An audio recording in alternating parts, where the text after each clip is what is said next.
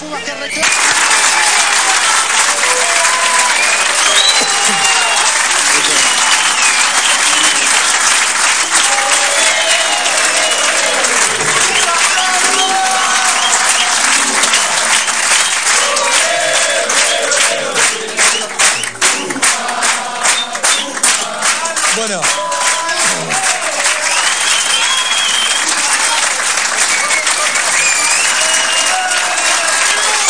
Sí vamos a vamos a arrancar este Bienvenidos. ¿Cómo andan? Buenas noches. ¿Cómo andan, chicos? ¿Bien? ¿Ya siguen sorprendiéndose con este tipo de recibimientos o ya están como acostumbrados? Me sorprendió, de buenas de noches, días? amigos. ¿Qué decís, Mario? No, 20 de la mañana. ¿Eh? ¿Estás sorprendido o no? De mi parte, totalmente. La verdad ¿Sí? que es impresionante. ¿Sí? ¿También? El cariño que por lo menos nos demostraron de que estamos acá el domingo, el lo- domingo a la noche Sí. Es impresionante. Ajá. La gente no para de felicitarte y agradecerte por lo que le hicimos sentir, así que es muy, muy lindo. Les quiero preguntar porque la verdad se, ha- se produjo algo en Argentina que fue increíble, o sea, una, una pasión. Agu, bueno, vos no sé si lo, lo- lo viviste un día menos que ellos porque llegaron con Juan y este ayer, pero Me ¿qué te pasó? Me estaban esperando. ¿Qué te, qué- Eh, qué te sorprendiste? Sí, no dejas de sorprenderte. Me parece que, que te puedes imaginar muchísimas cosas, pero estás tan lejos que, que te cuesta mucho imaginarte lo que te cuentan, los, los llamados por teléfono, los mails o lo, o lo que vas recibiendo durante el Mundial. Te cuentan un panorama, pero lo que yo viví cuando llegamos con Juan Ezeiza ayer eh, fue muy raro, fue, fue muy fuerte.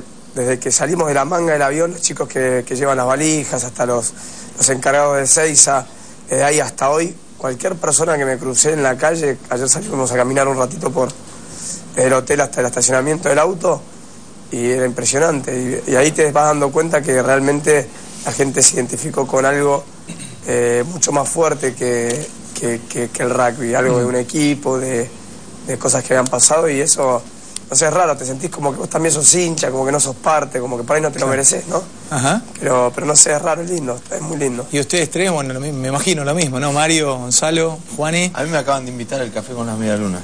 Acá a la vuelta. Fui a pagar y me dice, no, maestro.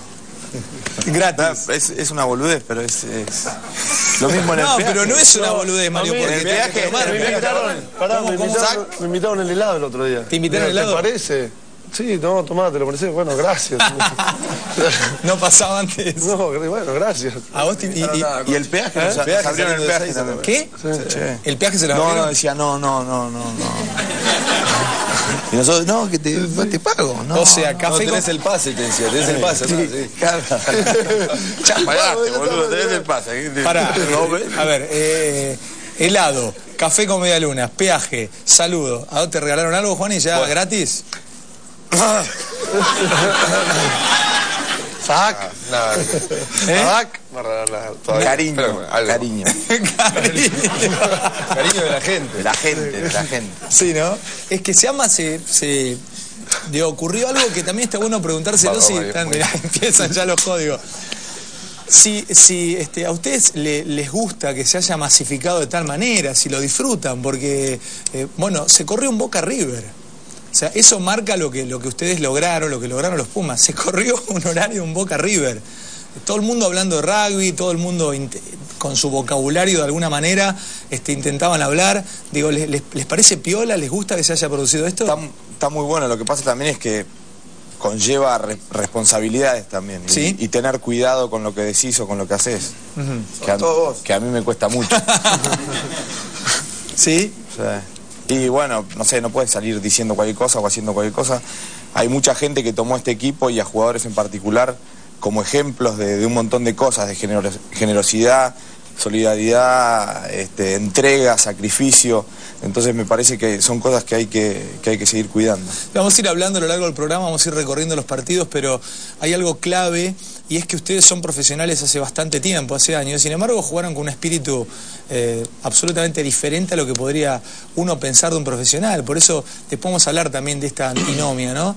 Han jugado con un espíritu amateur que la gente, bueno, lo del himno ha sido ¿Cómo lo paradigmático. sentimos? Creo que todos hoy somos profesionales, pero no- vivimos un rugby amateur acá. Nosotros nos fuimos a jugar los, 27 años después de haber jugado 10 años al rugby acá en, en Argentina, Sí. así que fuimos educados de una manera que no, quiere decir que por ser profesional nos vamos a olvidar Claro. de lo que... Sí, ahí- creo que ahí vuelve la discusión eterna, ¿no? Sobre profesionalismo y amateurismo. Que, Después, después lo quiero hablar eso, Agu, eh, con, con No lo tranquilidad. así, Porque... viste, que estaba... No, no, no, no, que lo vamos a hablar, va a ser muy interesante. Y, y quería seguir hablando sobre lo- el cambio de las vidas, eh, porque todo el tiempo se cambia de planes ahora con esta llegada exitosa. Bueno, vos acabas de firmar, seguís un año más en, en- en esta francés. Yo ahora, sigo- seguís, Ya seguía, hubo, un problema ahí de por medio, pero porque se decía que te ibas a Inglaterra. Exactamente, hay un club que quería que vaya y el club no me dejaba ir y hubo un problema de. Eh, de la prensa y demás, se exteriorizó mucho que bueno, al final terminó, resolviendo, cedimos, una, pues yo me quedan dos años de contrato, cedimos los dos, bueno, Sí. juego uno el que viene, así que Ajá. terminamos ahí. Tiene que ver con el cambio que le ha producido. ¿Ha sido un cambio en sus vidas este mundial para en, en grandes rasgos o no? Digo, no sé, a nivel personal, a nivel profesional, ¿les ha cambiado ahí un antes y un después o no es, no es así? No sé, te pregunto a vos, Juan. se, se terminó, se ¿Sí? terminó. Para alguna una etapa se terminó, sí. ¿Se terminó una etapa? Sí. A mí personalmente sí. Se terminó, es un ciclo que termina para todos. Me parece que se terminó un ciclo de muchos años, de, el objetivo que habíamos trazado hace cuatro años después del Mundial 2003, que lo habíamos pasado muy mal. Y sí, se terminó después, seguirá, sumará, me imagino que, que sin lugar a dudas fue un cambio para todos en alguna, en algún punto u otro, sí, creo que sí. ¿Volvieron a los clubes ya? Tuvieron muy poquitas horas, pero han ido, no sé, Mario a Curupaití, la otra Todavía no. Todavía no. Todavía no. ¿Cómo será el, el- el encuentro con esa gente? Y mira, ¿eh? No conozco a nadie. No conoces a nadie ya. No, no, la- va a ser bastante parecido a cuando yo fui antes de irme y la verdad que justo me hicieron ir en, en un- una fecha de juveniles, jugaban cuatro o cinco divisiones en el club y la verdad fue espectacular. ¿Sí? Estuve, no sé, qué sé yo, 40 minutos firmando eh, todo esto antes del Mundial, así que calculo que ahora se debe haber multiplicado. Nos contaban, Ah, creo que a todos nos pasó, que en los clubes se siguen anotando chicos, el rugby termina, Sí, no sí. sé, en un par de semanas. Y en todas las divisiones inferiores se están anotando entre, bueno, en mi club es un club chico, así que se estaba anotando entre 5 y 10 chicos por división. ¿En serio? Sea, Mira lo que produce, ¿eh? Ujú. Quiero empezar a hablar de la, de la confianza y, y por ahí este, ya empieza el primer tema para, para discutirlo. ¿Ustedes creen, después de todo lo que han logrado, que se les tenía confianza a ustedes o, más o menos? Pues yo les voy a mostrar algo de entrada eh, y ustedes podrán empezar a sacar sus conclusiones. Vamos a ver algo que dijo uno de ustedes, algo que dijo antes de salir, bastante tiempo antes, incluso antes de ir a prepararse a Estados Unidos. Vamos a compartirlo, después charlamos el tema de la confianza y cuánto creían en ustedes o ustedes en ustedes mismos. Vamos a ver. ¿Y el, y el Mundial, Agustín, cómo lo ves? Y el Mundial con esa presión.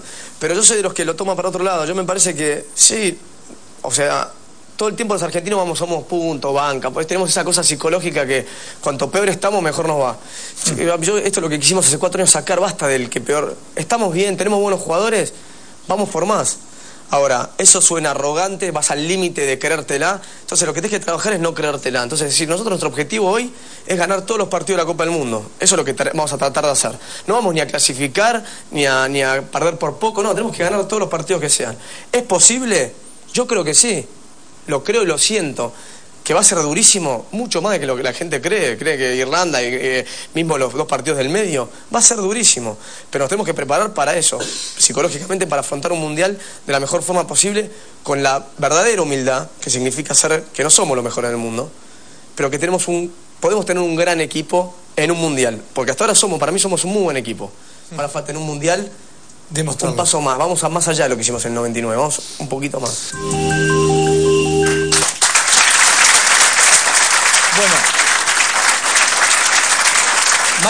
Imposible. Esto- ¿Apostaste algo no? 28 de agosto. Lo hacíamos ricos, ¿sí? ¿Cómo? Decía. Había que apostar teca y apostábamos. ¿Viste? Había que apostar, Agu. Este, esto lo decía tiene la misma 28. visión en la política. ¿eh? ¿Sí? Algunos dicen Pichó 2011, leí por ahí. ¿Puede ser? estoy, yo. Poner una Aguante ficha. las listas sábanas. Se viene la, la- Poner una fichita. Hablaba de la confianza, en serio. Vos, vos Agu, esto lo Yo lo declarabas sentía, cuando pero viniste. todos sentimos eso. Hace muchos años, cuando empezamos con, con algunos, no, no la sub-23 porque somos jóvenes, pero con Mario y con el Chalo, teníamos mucho, o sea, fuimos aprendiendo lo que era, era ser parte de un equipo. Y a veces un equipo que no, que a veces no, no lograba tener esa confianza que vos hablás. Y después del 2003, do- entre el 2003 y el 2005, el equipo empezó a crecer en esa confianza. Y yo estaba seguro que, o, o creo que todos estamos seguros que el equipo tenía algo especial, tenía un alma especial, tenía, tenía los jugadores, como los dos que están sentados acá, que son de los más jóvenes, que tienen una fuerza y un talento increíble. Así que, ¿por qué no? Si realmente no la creíamos, creíamos que podía pasar, ¿por qué no iba a pasar? Ahora, Mario, la confianza. Vamos a dividir desde dónde venía, por ejemplo. La masa, la gente, el pueblo, mucho de rugby no, no, no, no está embebido como podría ser si hay una, una selección que va a un mundial, ¿eh? que ahí están todos más al tanto. Vamos a hablar de la gente del rugby. ¿Eh? La gente de Curupaití, la gente del CASI, del SIG, de Deportiva Francesa, de Liceo Naval, sus amigos, este, la gente del mundo del rugby. ¿Creía que esto podía Yo darse? creo que se, se había despertado una este, un, un fervor por el equipo en las semanas antes de, del primer partido contra Francia, que bueno, aminoró un poco después del partido contra Gales y Bélgica, pero la gente muy de argentino, un poco lo que decía Ficha ahí, creía que la zona la pasábamos de taquito. Ajá. este, pero no por un tema de confianza, sino que viste, no- nos, nos veían a nosotros que estábamos todos creyendo que podíamos hacerlo y, y muy de Argentina decían, ah, los franceses lo matamos, a los holandeses lo matamos. Este, después, exacto, después de Bélgica y Gales la gente, bueno, dudó un poco. Ahora, a- me, esperá, me dejas picando algo. Cuando hablas con los que saben de rugby, te dicen que todos los equipos, en los últimos momentos o los últimos días antes del Mundial, escondieron todo. Que ustedes, como lo hicieron todos, contra, Sudaf contra este, Bélgica y contra Gales, escondieron. Nadie mostraba nada. una Sí. primicia, no escondimos nada. No escondieron nada. Jugamos A todo nada. llegás- llegás con No mucho- ustedes, mucho todos. entrenamiento también. Entonces, si no juegas bien es porque también venís muy cansado, venís con... Bueno, vos te rompiste contra Bélgica. Sí. No, contra Bélgica no, en la entrada en calor, así que Peor. ni siquiera jugué. Ni siquiera jugaste. Pero veníamos muy cansados, o sea, después se notaba en la cancha que no, o sea, no podíamos rendir porque veníamos con mucho entrenamiento, que es normal. Eh, Juani, ¿y qué pasa los meses antes del Mundial con los compañeros de ustedes? Todos juegan con tipos que estuvieron en el Mundial, la mayoría. ¿Qué pasa con tus compañeros de tu equipo? Hacían- ¿Qué te Estaba decían? muy gracioso, hacían muchos chistes. ¿Sí? Dominici, por ejemplo, decía así, se van a comer 40. No. Bien, chistes. Eh, somos bastantes amigos todos. en No, eso club. no te lo decían chiste. Eh, no sé, no. Pero bueno, hacían todos chistes así. Después los que no estaban en el equipo de Francia nos decían, no, ustedes le van a ganar. O sea, así que estaban lo- lo- las dos partes, que uno que nos ganaban, otros que no, y unos que tal vez estaban apoyándonos a nosotros más que a los franceses. ¿Qué le decías vos cuando Dominici venía y te decía, che, te, te hago 40? Eh, no, que, nos ve- que nos veíamos, que lo demuestre y que nos veíamos en, en el estadio. ¿No te llegaste a enojar? No, para, no, no, sé que es así medio medio jodón, así que no, Ajá. no se enojar. ¿Y Igual después, en el segundo partido no me dijo nada, ¿eh? ¿No te dijo En nada? la no me dijo nada. ¿Lo volviste a ver? Eh, sí, lo volví a ver el otro día que fuimos a comer al club. ¿Qué le dijiste? todos. No, no dije nada. Falta la respeto. verdad. Estaba- eh, no, en serio. Él estaba muy mal, muy triste, muy bajoneado. ¿Pero estás esperando? Eh, por ahí cuando pase el año lo voy a tirar. ¿Vos, este, Mario, te dijeron algo?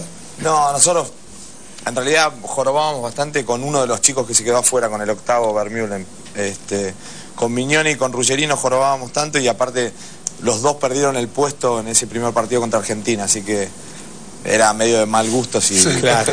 Pero bueno, Uno. A ser uno, enemigos. que no pise el palito. Che, Juan, y, y vos en tu, en tu, en tu club, digo, este, con otros jugadores, ¿qué sentías? ¿Que había confianza? juega en- con es muy amigo. ¿Sos amigo de Chaval vos? Él, la verdad, él está manejando una imagen de muy malo, pero Es en la, en intimidad es un tierno, chalo. Es un... ¿Chaval? Eh, en la cancha también. Para mí es una prueba genética. Sac. Sac. No llega a Francia. No le pasen el video. Sí, no se lo muestren. Bueno, Chaval marcó en Argentina, después lo vamos a ir a ver también, pero Chaval marcó en Argentina acá, había terror. Los chicos iban a dormir con la foto de Chaval cuando no querían cerrar los que ojos. era. Comé que viene Chaval. No, venía, venía Chaval. Vamos a seguir con el programa este, y vamos a hablar, después vamos a ver unas imágenes de, lo- de- de los Pumas jugando contra Francia. Con todos los partidos vamos a ir charlando un poco de la vida con ellos, desde otro lugar, eh, no tanto de lo técnico, sino conociendo algunas otras cosas con los que seguramente son eh, el equipo histórico de Pumas en Argentina. Ya volvemos en un minuto en este ESPN Estudio especial. Quédense porque van a conocer más cosas de nuestros Pumas. Ya volvemos.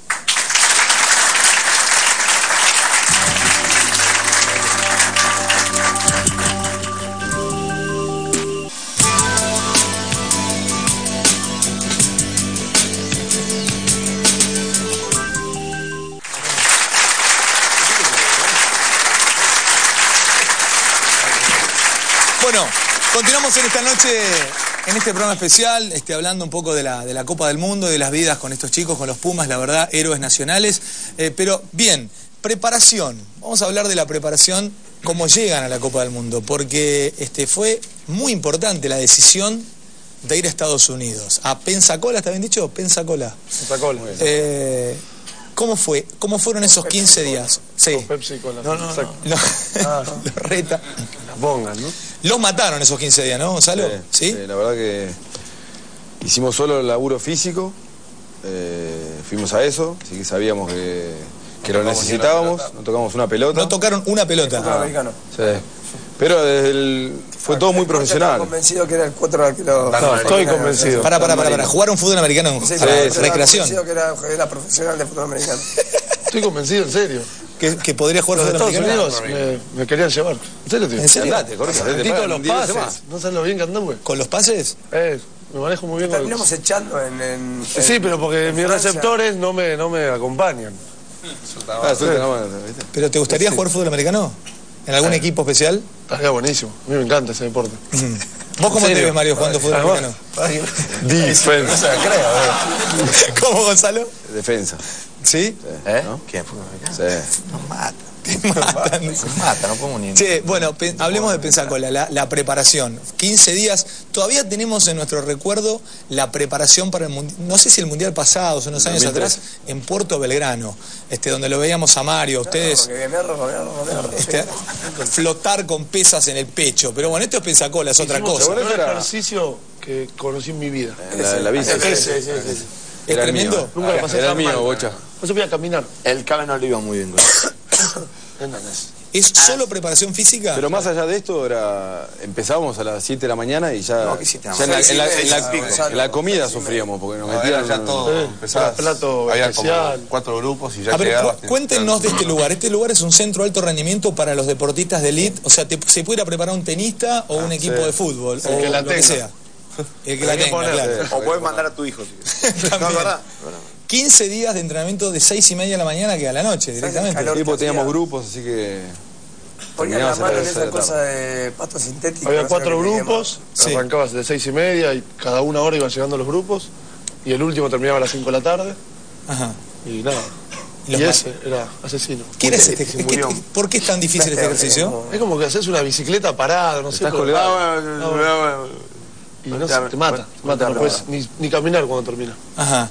¿Ustedes notaron en estos 15 días, no sé, Juan, te pregunto a vos, cuando volvieron, a los dos, Juan, y no, a, a- a Ju- a vos, Juan, y después también acá, Juan, ¿notaron cambios, se notaban físicamente diferentes cuando volvieron con estos 15 días de preparación? Sí, aparte después eso siguió en, en Buenos Aires, siguieron otros 15 días más y tal vez en Bélgica y, y Gales, bueno, por eso decía que llegamos medio cansados de esos partidos, pero sí, la verdad que sirvió muchísimo, eh, fue otro estilo, otra forma de entrenar que no estábamos acostumbrados y que era totalmente distinto lo, lo que, lo que veníamos haciendo a lo que toda la, la posición de cuerpo y que, que nos enseñaron y que nos entrenamos ahí fue la verdad que fue muy bueno para y aplicado a rugby nos, nos dio muchos resultados. Claro, por ahí empezamos a ver, mirá, bueno, estas son imágenes de, de- de la preparación 15 días previos al Mundial. Eh, todos los equipos de elite, Agustín, todos los equipos de elite se preparan de esta manera, Wallabies, en el All Blacks, no. o, o no. Creo que todos tienen una preparación muy, muy buena, hace ya varios años. Nosotros, el Mundial pasado no había sido tan bueno y por eso una de las exigencias que, o uno de lo que habíamos, algo de lo que habíamos exigido el año pasado cuando se armó todo el problema con Unión Argentina de Rugby, fue justamente una preparación de acorde a- para poder competir de igual a igual, o por lo menos algo básico como para poder llegar a un mundial de la mejor forma posible. Nos costó casi siete meses y por suerte después se alinearon eh, los dirigentes como para conseguirnos este centro de alto rendimiento que, es, que está a la altura de, de los mejores centros del mundo. Por lo menos 15 días logramos entrenar como, como una potencia de primer nivel. Gonzalo, les pregunto a ustedes dos, a Juan y a Gonzalo. Te digo, en, en el caso de, de la preparación física, ¿dónde notás que es importante estar con un plus físico en los partidos? Les pregunto a ustedes que tienen digo, que Sí. atacar y que En defender. realidad las dos generalmente es el, el- el final del partido. ¿Sí? Los últimos sí, 10 minutos. Ahí es eh, cuando, si tienes una buena base de entrenamiento, cuando vos ves que el otro equipo, si anduviste bien, lo, lo terminás de matar o si te, físicamente te están superando. Si anduviste bien, ¿lo terminás de matar o no? ¿O Sí, te o pasa no, por encima? o te pasan por arriba. ¿Vos también opinás lo mismo, Juan? Sí, y me parece que lo más importante es, como dice, es esa sensación al final del partido, cuando a veces en partidos cerrados, de que podés taclear, levantarte, taclear, levantarte, correr, estar. Eso suma un montón para, para como dice el Chalo, cerrar los partidos, porque cuando estás cansado, tacleas y te quedas un rato ahí. Aparte son los minutos más importantes. Generalmente los partidos se definen en, no sé, el primer tiempo, los últimos minutos del primer tiempo, los últimos minutos del segundo tiempo, así que, y es cuando más fresco tenés que estar. Claro. El cansancio se nota también en las decisiones, cuando uno tiene que decidir algo. Si estás cansado, te equivocás. ¿Tiene comparación Pensacola con los entrenamientos de Curupaití, por ejemplo, Mario, en tu Muy inicio? parecido. Muy parecido. Hay cosas que se copiaron. A Curupaití. Me, me- me mandaron una carpeta para que lleve para. Directamente. Bueno, vamos a empezar a hablar un poquito del primer partido. Eh, una declaración que me pareció interesante, que, que me, me guardé en la cabeza, fue la de Ibáñez, dijo lo siguiente. eh, los Pumas viven en revolución permanente. Viven peleándose todo el tiempo para estar en primer nivel. Y cuando alguien vive en revolución permanente está acostumbrado a luchar. Eso dijo Ibáñez. Hay que tener cuidado con ellos. Estamos hablando de, bueno, el capitán o de los capos de- del rugby francés. Este, ¿Ustedes creen que los ayudó vivir en esta revolución permanente, sacar una bronca contenida para enfrentar a Francia, Agustín? Sí, recién te hablaba lo de Pensacola justamente porque nos costó muchísimo y fue una de las cosas que, que nos hizo formarnos muchísimo como grupo, ¿no? Toda esa adversidad o esos problemas.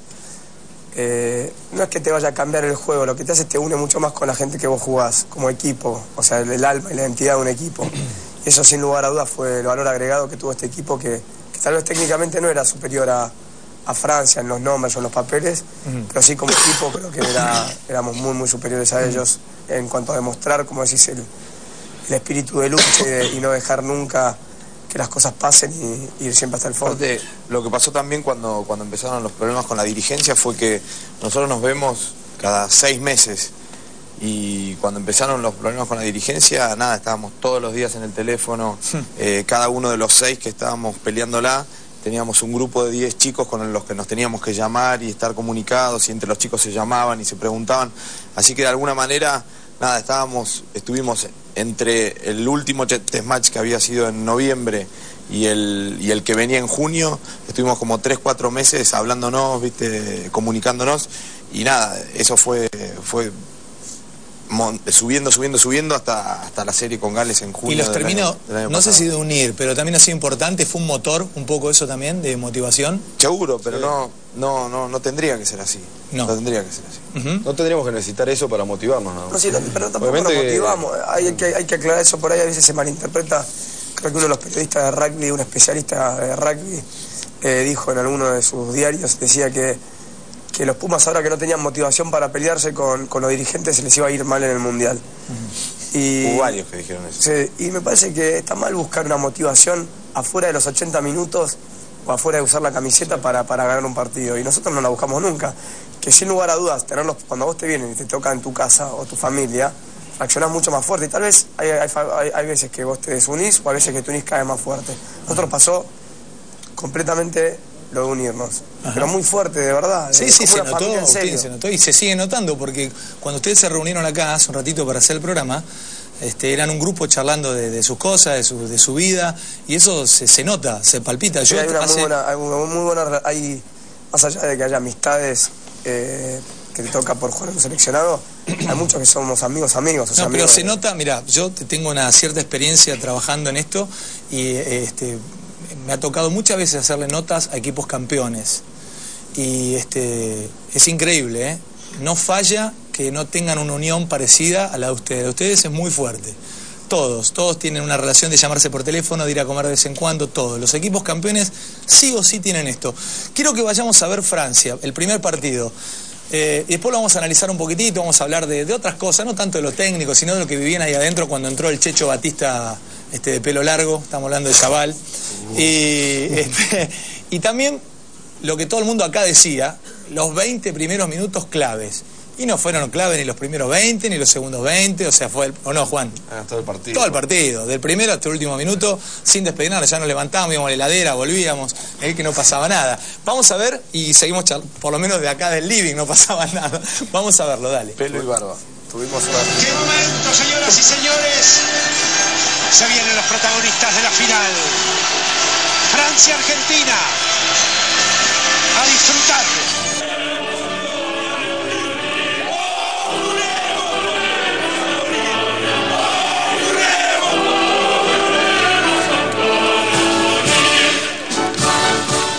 Ahí va a venir el disparo de Felipe Contepomi. El disparo de Felipe que va dentro. Ganan los Pumas. 9 a 3 en el Stade de France. Ah, no. Bien, esa pelota que tomó quien. Gabriel trae. Peligroso ataque francés. Agulla Lobó. Agulla Lobó. Hay chances. Va Manuel Contepomi. Se la pide Corneto. Va Corneto 3, 3, 3. Va 3, va 3, va 3, 3, 3 de los Pumas. ¡Qué contra! 3 de los Pumas. Dani Corneto. Tacle Pumas. Tacle contra Tión. Contra todos. Contra Moner. Y los Pumas lo mandan para atrás. Y la tienen con todo. Para marcarlo Bechen. Ahí Felipe. Donde no pasa Roncero. All right? En donde se corte por infracción menor y no por penal se termina todo. Oh. Elizalde que va. Juega corto. Ya los Pumas que reclaman. ¡Se va a terminar! ¡Sí! ¡Un golpe increíble! ¡Los Pumas le han ganado a Francia! ¡Pecho así de tranquilidad! El Tano lo frena loco como nunca. En el stand de France han ganado los Pumas el partido inaugural del Mundial. No quiero ver a nadie saltando, festejando. Ahora, vamos a saludar. Esto es una Copa del Mundo. ¡Ey, no, no ganamos nada! ¡Recién Bien.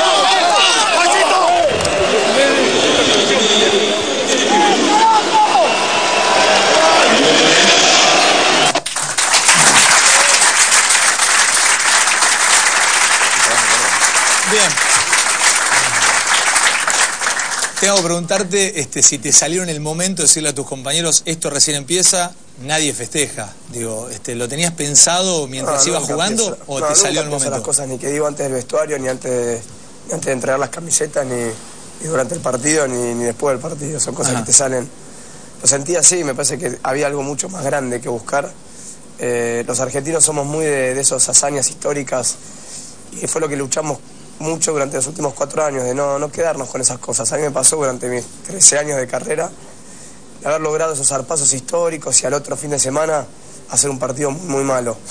y te agarra una bronca o per- perder dignamente, que te diga, no, buenísimo, esas cosas nos molestaban mucho. Sí. Y habíamos logrado durante cuatro años ir a buscar a ganar, buscar ganar, buscar ganar, una mentalidad muy ganadora. Y no queríamos dejar, o sea, lo más fácil hubiese sido quedarnos con, sí, le ganamos a Francia, ya está, el Mundial ya está. Y, pero no, yo, va, todos creíamos, pero, pero había que, que poner eso donde iba e ir a buscar lo otro. ¿Sabes que algunos números hablan de, en este partido, eh, más de 100 tacles de ustedes? 136, Eh, ciento- sí, creo 127 tacles. Preguntar al corcho por los números. ¿Sí? ¿La tiene clara? y ciento, eh, lo- los contamos en producción.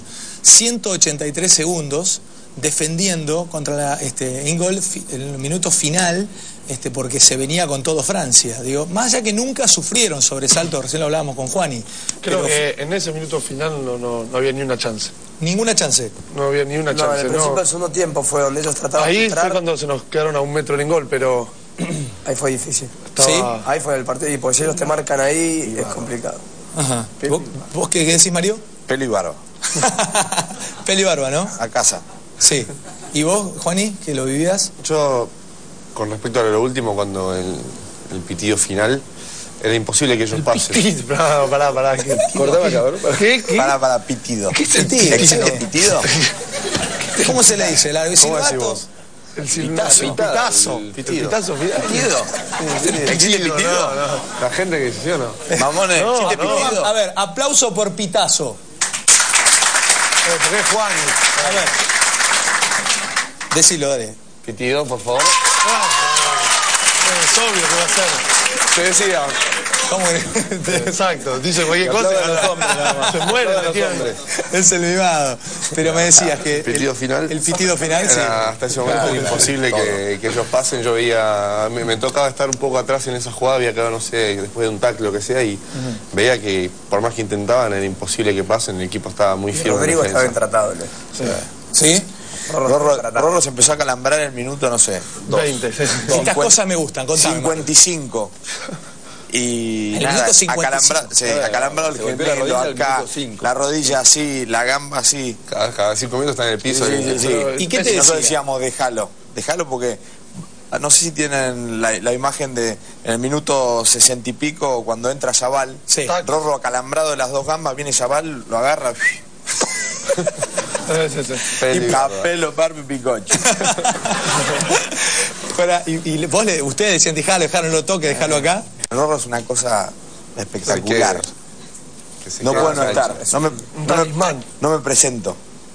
Si no está Sin Rorro, no. ¿En serio, Mario? Es una cosa Ese es otro nivel.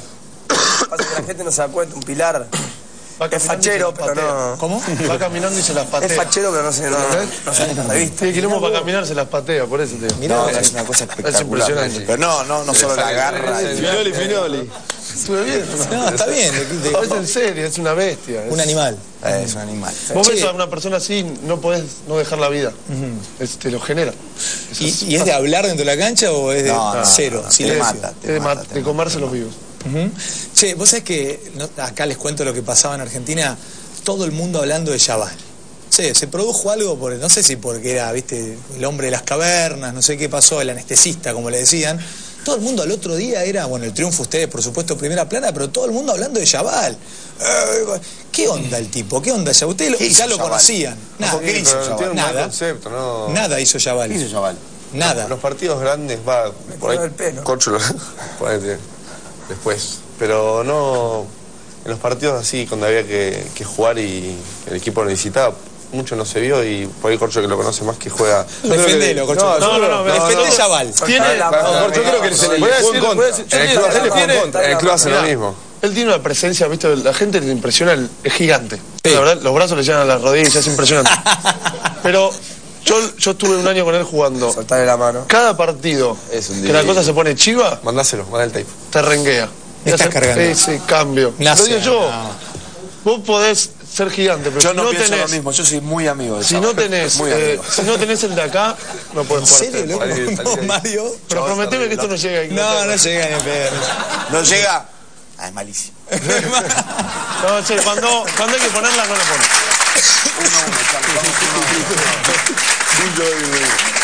que le jugó en contra un poco, porque... ¿Cómo, Gonza? Que le jugó en contra también toda la imagen que le hicieron. Sí, ¿no? Porque él técnicamente no es un... O sea, no hace nada extraordinario. Él agarra la pelota y va al frente. Acá es un Si vos tenés un pibe que, que está hablando todo el Estamos día... hablando tanto de No, Chaval. no, porque fue, fue acá marcado como, viste, como que era Chaval, Chaval, y bueno, se habló un, un poco más de la cuenta Ah, no de hablemos él. más de Chaval, Pero ustedes lo, claro, no, no, de giles, lo desaparecieron.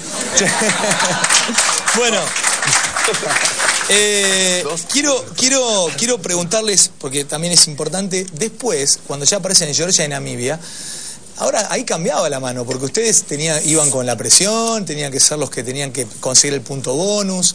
Eh, ¿cómo les qué, qué pasaba, qué charlaban entre ustedes en, lo- en los minutos, en los, los días previos a, a estos partidos, Para mí el partido este de, de Georgia fue uno de los más difíciles. ¿Sí? Como- sí, sí, porque, bueno, Francia, Irlanda, todo lo que significa, pero Georgia, que todo el mundo lo tiene como eh, de un nivel mucho más bajo, eh, los tipos eran muy duros, muy fuertes, aparentemente se entraron muy bien, hicieron bien las cosas y, se nos complicó el partido. Era donde nosotros teníamos que salir a ganar, a marcar los cuatro puntos, que llegaron en el minuto, creo, 81. Eh, por ahí no, no, no fue, no fue cómodo, no fue fácil empezar ese partido. Más, intentamos hacer nuestro juego que, eh, que normalmente hacemos y no podíamos pasar por ningún lado. Y, bueno, y qué difícil salió. también, Juaní, ¿no? Aparte jugar después de cuatro días. Claro. Eso en un partido de rugby es... Nosotros más viejos necesitamos dos, tres días para, para estar bien. Claro. Y, y yo ya jugaba su primer partido del Mundial, así que con toda la motivación de jugar contra Argentina, que venía a ganarle a Francia, o sea... Vamos a ver imágenes También. de esos dos partidos, pero les pregunto, a- a- les dejo picando, me la contestás si querés ahora, eh, Agu. Vos de Francia, de Sudáfrica, de, de- Australia, tenés datos tenés tape, tenés videos. De Georgia tenés menos y de Namibia un poco menos. ¿Qué pasa cuando enfrentás a un equipo que no sabés qué te puede ocurrir enfrente o no? Sí, fue raro lo de los videos. Nosotros siempre veíamos, como te contamos hace un rato, veíamos videos. Después de los partidos ves el partido que jugaste y el partido que vas a jugar. Sí. Que lo hace el con Nico Vaz de Dios. Y, y preparan todas las imágenes de nada, del scrum, del line, este, juegan así, juegan cerrado, nada, se habla entre los conductores. Y, Georgia eh, había muy poco, había muy poca información, era, no, era, no era exacta, después con Namibia lo mismo. No coincidió con lo que después No, ni lo los que jugadores. pasó. En un momento nos dieron una lista, porque siempre ponemos la lista de los jugadores. Sí. Y a- a- un rato antes del partido dijimos, bueno, todos estos, bueno, no juegan ni- no uno solo. ¿Cómo, Mario? Todos los Billys y los Achillis. Y No, todos estos. Billy no juegan. Sí. Juega uno solo que está de suplente, o sea, era un equipo completamente distinto a todo lo que habíamos mirado, todo. Qué bravo. ¿Y qué hace cuando te cambian una, una No, lista? no, depende más de vos que de lo que contra quién Sí, bueno, pero... ¿Sí? Eran fuertes. Sí, sobre todo con un equipo como Georgia. Me parece que en ese tipo de partidos depende más cómo uno, se- cómo uno está preparado que cómo... O sea, el Aparte, equipo a veces te, facilita las cosas porque vos tomás referentes, ¿no? Entonces en el equipo de enfrente vos tomás, sabés que este pibe es el que salta siempre en line, Sí. entonces vas a ir a marcarlo más a él. Contra Georgia era, bueno, eh, Ver qué pasaba. vean que pasa y Y es tu llegada, ¿no? Tu vuelta otra vez. contra Namibia. Pues. Claro, pero en estos dos partidos se produce tu regreso este, después de... ¿Cuántos días estuviste recuperándote? Tuve un mes, un poquito más. Un mes. Estuvo en Euro Disney. Vamos a ver algo de, de Georgia y Namibia que un poco. ¿eh? Y, y vamos a, a- a compartir también esto, dale. Con Albacete, con Nicolás. Con Hernández que la tomó adelante, ya ganó espaldas. Y el apoyo la libera Nicolás. Felipe que va. La Argentina que la tiene con chance de try. Va Juan Fernández López, pasa la punta para el try de Borges. Try, try, try, try, try, try, try, try, try. Por fin quiebra la resistencia de Georgia. En ataque la Argentina. Con los forwards va. Con Lozada que intentó. Pelota disponible para Nicolás. Pelota en piso. La tiene Hernández. Se la guarda un segundo Hernández. Lo voltearon. La soltó para el Fede Martín Aramburu. El try de Federico Martín Aramburu. Rompiendo por fin la defensa. Y la Argentina que suma el ansiado punto bonus. Con fastidio, sí.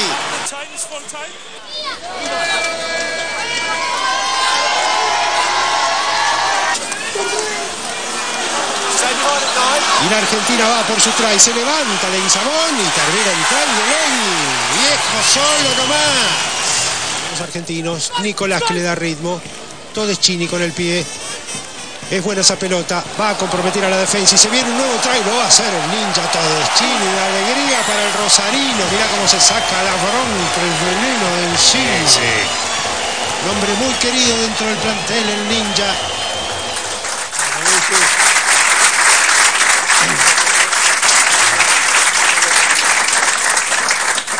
Como si fuese una película, porque este es un programa que va a quedar este, como un documento histórico, ¿por qué no? ¿Eh? Estamos contando cosas más allá de lo técnico y va a quedar para el recuerdo. Después fue como un relax este, este momento, ya comenzaron los días libres en la concentración, dos días libres en la primera semana.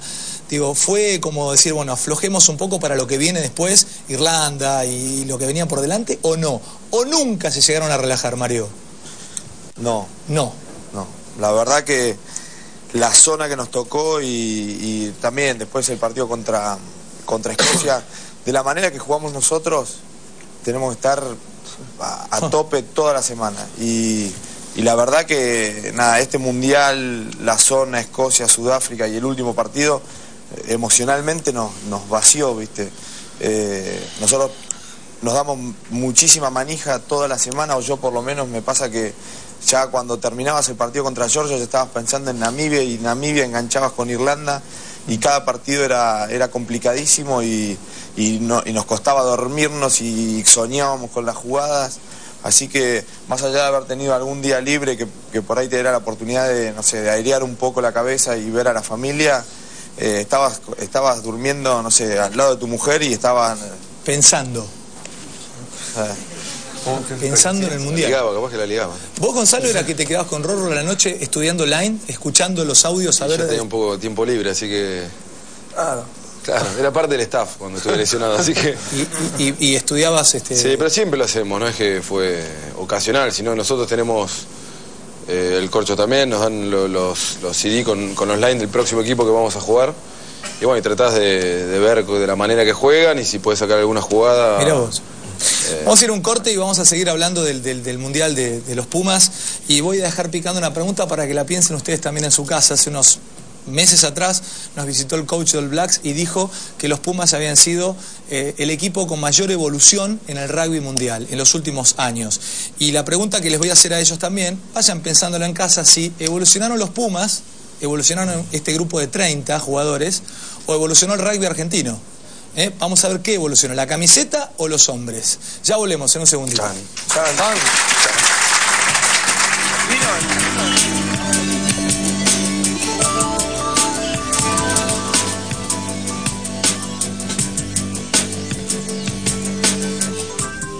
Bueno, le voy a aprovechar a, a Juan Hernández.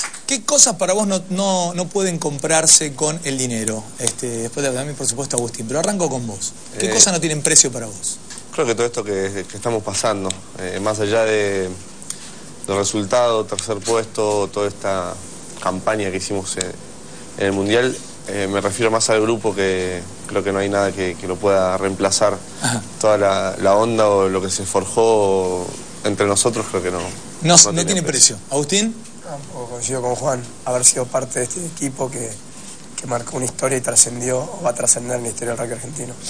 Bueno, eh, quiero mostrarles en unos segunditos una previa o el proceso de formación de un clásico. Los clásicos eh, se hacen por la, se, se- se convierten en clásicos por compartir el barrio o este, por problemas entre las hinchadas. Pero casi nunca se produce o se genera un clásico por fastidio o por bronca entre, no sé si bronca, entre los jugadores. Tenés Y ustedes con Irlanda generaron un clásico, Este, Mario. bron- este bloque es tuyo. Todo, todo mentira. Dije, no, Mario, De verdad, ¿eh? Este, es un clásico con Irlanda, Mario. ¿Por qué? Contanos un poco. Todo comenzó. La- hay, dos, hay, Todo comenzó. hay dos- hay dos escuelas. ¿Se puede contar? Y la que no. Contanos, contanos que queremos saber. No sé, este, capitán. Dale para adelante. Bueno, había una vez. no, qué sé yo. Hubo un partido en, en, Ir- en Irlanda que el, este muchachito, Ogara, nos, nos marcaba el, el tanteador y bueno, y, y nos hacía recordar el, el partido. Del 2003. El partido del 2003 que nos dejan afuera por un punto, bueno. Fuimos al- a un hotel donde. Yo, yo había tenido un problemita con O'Connell. Y fuimos al hotel a donde se hacía el tercer tiempo. Yo cuento cada cosa también. ¿Y Mario? Y nada, y cuando entro, yo estaba fastidioso. Y O'Connell que me mira. Y le digo, ¿qué me miras, pelotudo? Y me, y me demandé. Y bueno, entonces ahí nos separan, nos vamos a sentar, me lo sientan al lado. Digo, no como con esta persona, me voy a hidratarme. Y bueno, y tomo alguna copa. Este. Dos. Dos, porque en realidad como no tomo, con dos ya me había quedado mal. Y cuando estoy yendo a reabastecer el, el drink, Como lo cuenta Mortal. veo que Hogara y Stringer me miran. En ¿Seguro? realidad- ¿Era vos? ¿Era vos? En realidad no sé si me miran mal. Veía, veía medio... Y voy y le digo, vamos afuera, los recago a piña. vamos. Y bueno, me, me vuelven a separar y entonces me vuelvo para el lado de la barra. Y ¿Quién te estoy- separaba? ¿Todo esto quién te separaba? No sé, Los chicos. yo. Sí, Sí, al lado, está al lado. Y entonces yo estoy en la barra, viste, y en, en un momento de, de soledad me pongo a pensar y digo, pucha, estoy muy calentón, no tendría que, que enojarme con estos pibes así. Y entonces viene Ogara, y entonces un supporter irlandés nos quiere arreglar y no sé qué le dice, qué sé yo, y yo le digo sorry, no sé, estaba enojado. Y me dice, enojado estás porque te dejamos afuera del mundial de no sé qué. Y ahí lo agarré de los pelos y me empezó a llevar. Y bueno, y nos volvieron a separar. Vamos a ver este, el partido, el, el que de verdad este es uno de los que más nos ha emocionado a todos porque es el clásico. Después de todo lo que nos contaba Mario, lo que vimos, Argentina frente a Irlanda eh, sin sufrir, sin despeinarse. Miren. Era el título,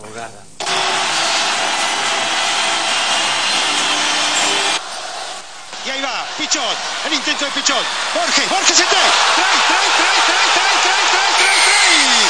Trae de los Pumas. Claro que sí, era un ciego bárbaro. El drop de Hernández que va, va, va, va, va, va, va, va. ¡Dentro! Toman ventaja los Pumas. La pelea Albacete, la ganó Albacete, pero la tiene Irlanda con Lemi, no pudo Nacho Fernández Lobe. Una lástima porque la había conquistado la Argentina. ¡Oh! Se abrió el agujero justo. Falló la marca argentina. Lodriscoll. Pichot, Hernández con otro drop. El remate de Hernández que va dentro. Los Pumas arriba otra vez. 11 a 10 ahora. Hernández que se la juega. Si gana Hernández. Ganó. Y va Celso. Topetea Celso. Vaya Celso, vaya. Hernández. Corneto. Longo. Agulla. Trae, trae, trae, trae, trae, trae, trae. Trae de los Pumas. Trae de los Pumas. Horacio Agulla. Hernández.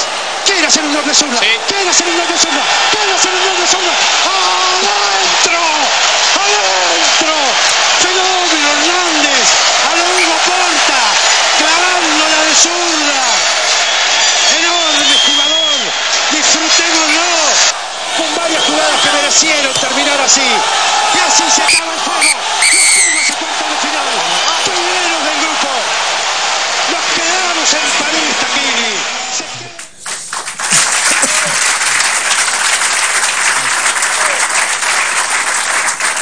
Bueno, este, la verdad que nos emociona ahora ya sabiendo la otra parte de la historia, lo disfrutamos más. Me veía a Odrisco estaba sacado y, y te, te pregunté, Juan, si lo, te- lo fue a buscar a Mario y me decían que no, a todos. No, a, Manuel, a Manuel a. Manuel- a los que estaban. It starts now, decía, ahora empieza. Pues yo necesitaban los cuatro tries y vino a. Quería intimidarlos a Manuel, no sé, a los que se estaba cruzando ahí en el medio. Se la jugó de guapo antes. Eh, eh, digo, pensar en, en- en este partido, acá los vimos empezar a festejar con todo.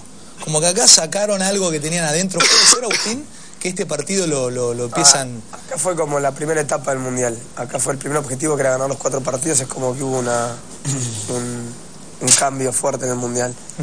Eh, aparte, este partido, se habló, hab- habíamos pasado una semana muy, muy difícil, ¿Por muy qué? tensionada. Y por todo esto que hablamos recién, había, había un bagaje histórico muy importante con Irlanda.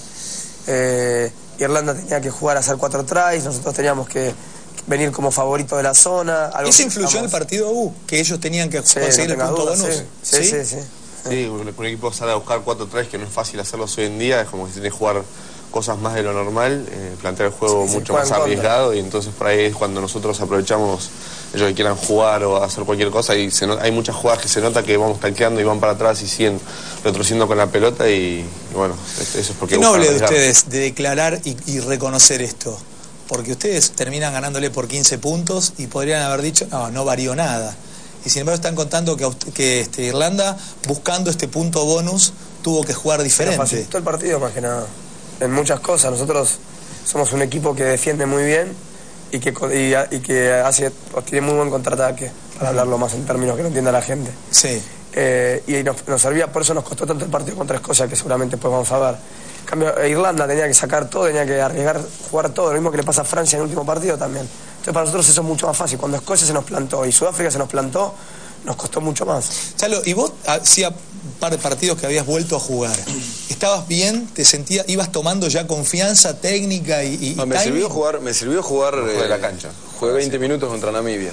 La verdad que necesitaba jugar ese partido por un tema mental. Cuando uno viene de un desgarro no sabes hasta dónde puede forzar. O sea, vos venías de 20 minutos antes. Sí. Nada. No, poco. Y salió malo de match. Pero ¿Estabas en llamas, dice sí, Juan? estaba caliente, estaba Sí, caliente. jugó muy bien. El número uno. Sí.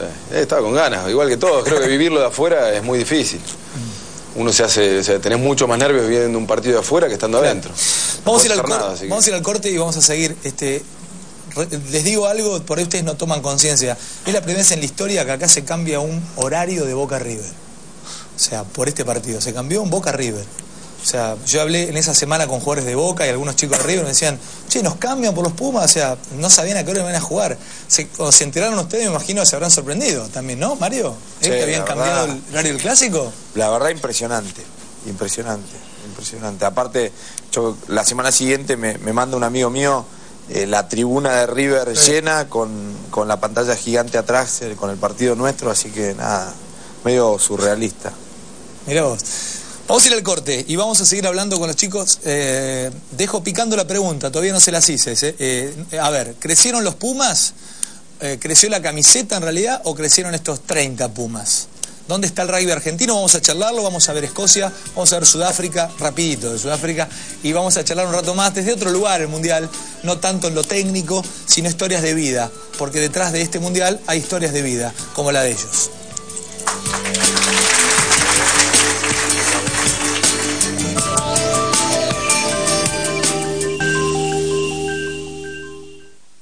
Bueno, seguimos adelante con, con este especial, charlando de la, de la vida del Mundial con, con los Pumas. Mirá que te- quiero un detallito de color. Hace unos días tuvimos a Ariel Ortega acá.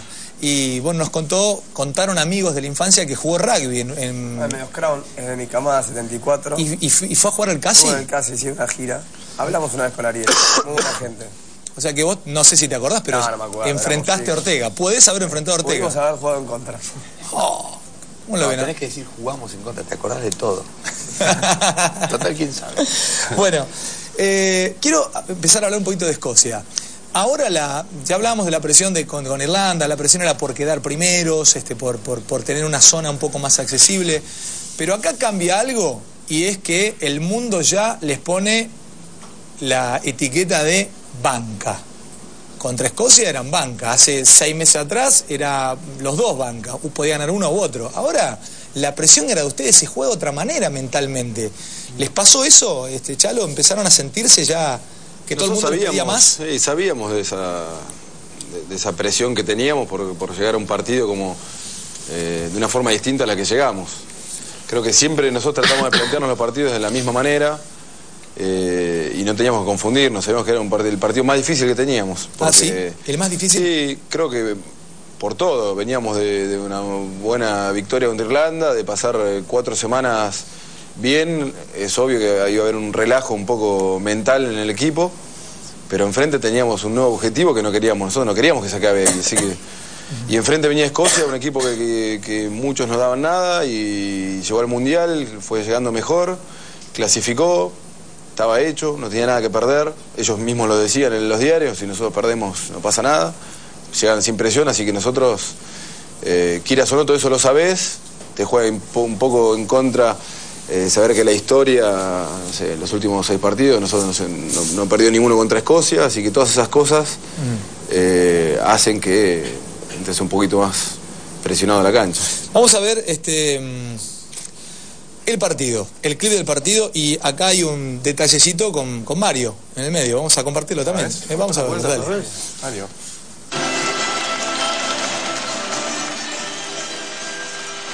Lo sacan a Ledesma. Vuelve atrás, va a ser penal para la Argentina. No prospera ese avance de la Argentina. Mirá, se agarraron, ¿eh? Le tapó el kick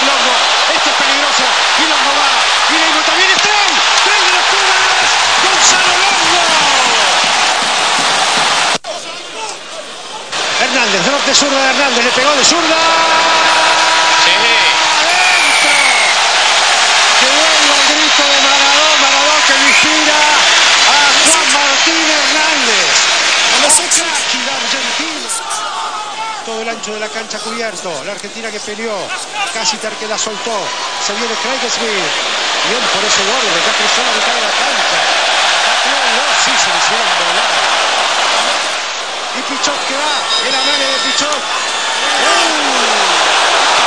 Quiso hacer la de Elizalde, miró el reloj, Pichot. Buscan ese scout. Buen tackle de Pichot. Bueno,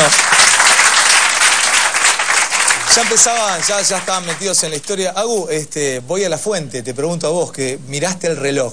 Podemos hablar todo lo que tengamos ganas de hablar, pero la verdad la tenés vos. Digo, ¿miraste el reloj? ¿No miraste el reloj? ¿Qué pasó en ese No, momento? pensé que tenía más tiempo, miré el reloj. Y si mami iba afuera, eh, iba a hacer line para ellos. Entonces quise corregir el último momento.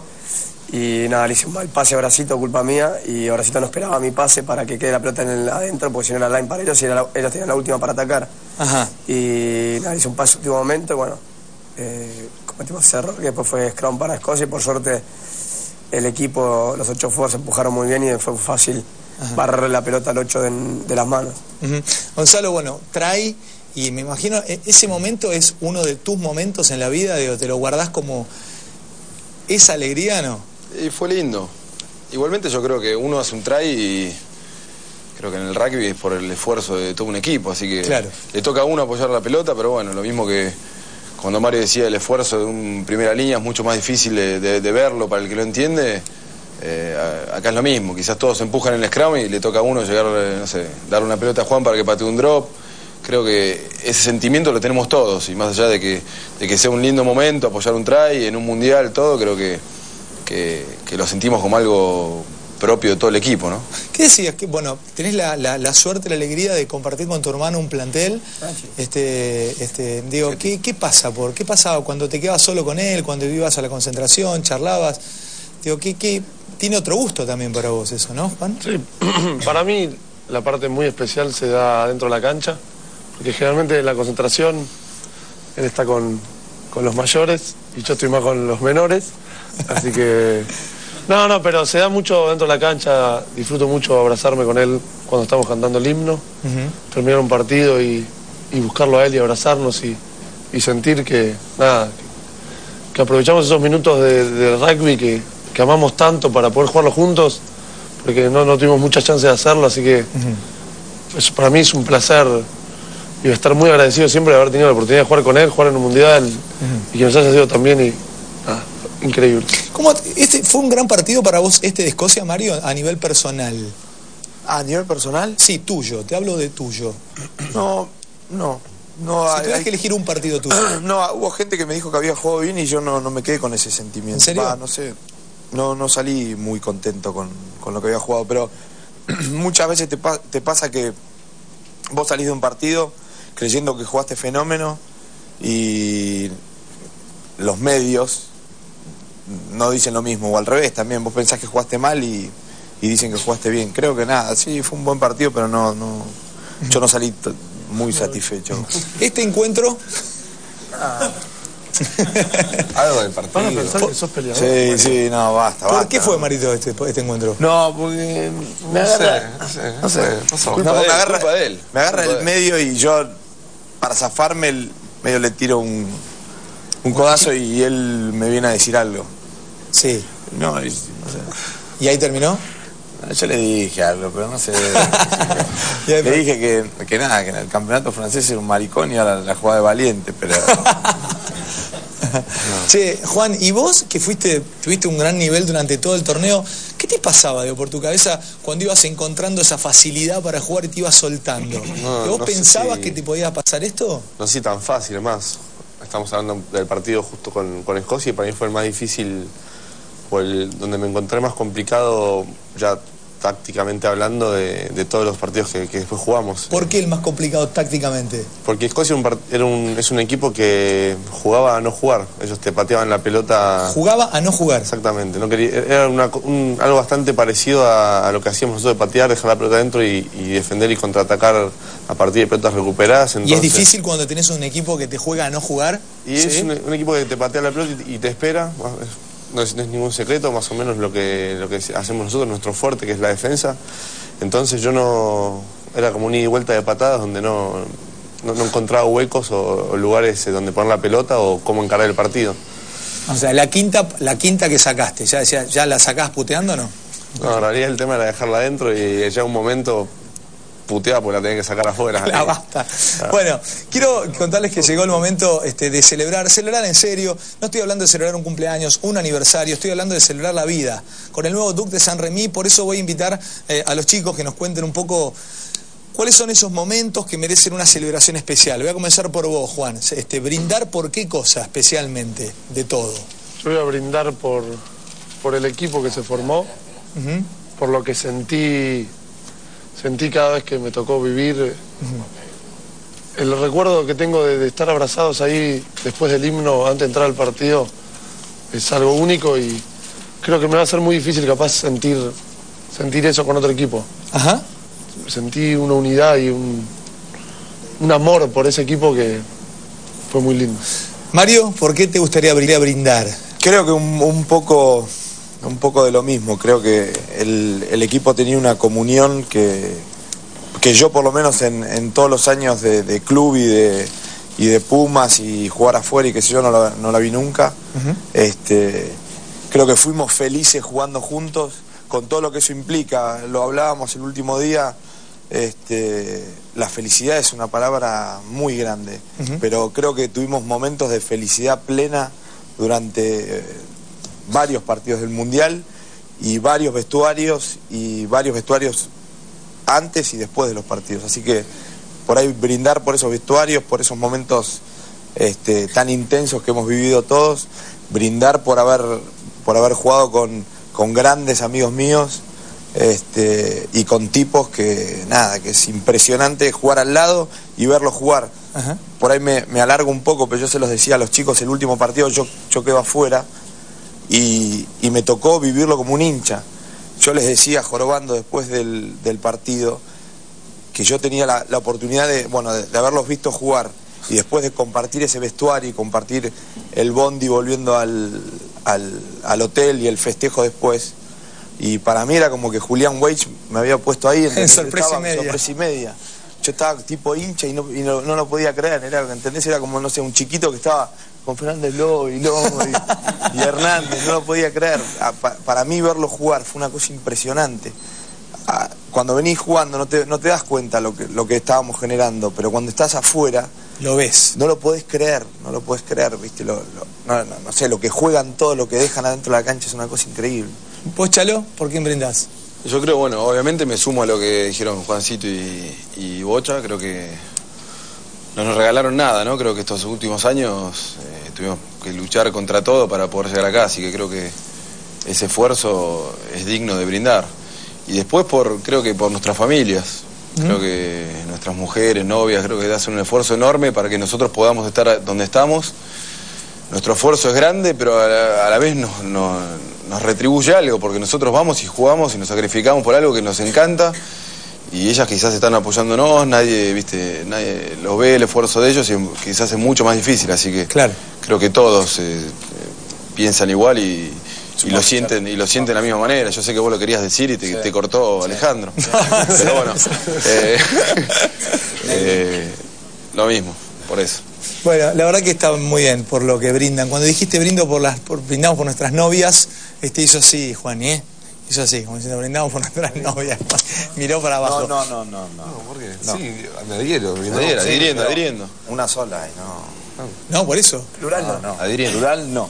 No, no, él dijo, No, no, brindó- hizo, brindamos por nuestras novias.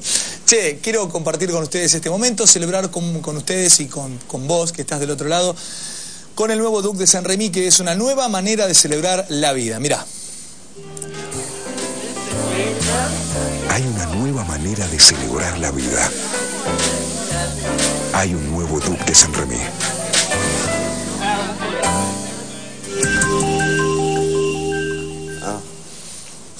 Bueno, nos vamos a ir al corte y a la vuelta vamos a hablar un poquito de Sudáfrica, vamos a ver momentos impresionantes también del Mundial, sobre todo el partido por el bronce con Francia y, y tenemos Euro Disney. Eh, la charla técnica que da Tribilín es impresionante. Vamos a ver un ratito con los chicos. Ya tenemos un rato más con los Pumas acá en vivo en ESPN Studio.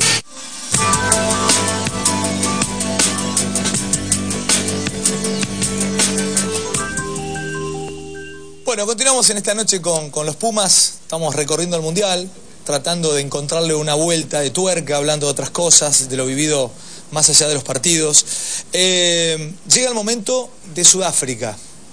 ¿Y qué pasaba? Ustedes en las noches previas a ver que venía Sudáfrica, Agustín, el equipo duro entre los duros, eh, el equipo que realmente va a los mundiales y ya hace valer.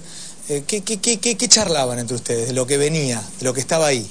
No, creo que aceleramos un poco el, la intensidad de los entrenamientos. Sí.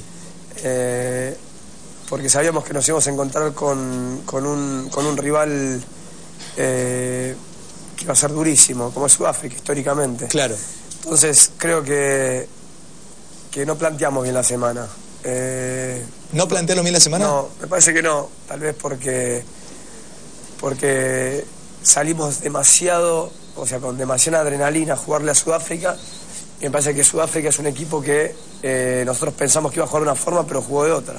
A ver, para, ¿por, por qué jugó, pensaban una y jugó de otra? Porque ¿Qué- Sudáfrica por lo general es un equipo que te sale, a- que, que vos crees que es un equipo que te juega, eh, te va a abrir, te va a jugar con potencia, con y la verdad que Sudáfrica los primeros 15 minutos ah, nos esperó, una cosa rarísima.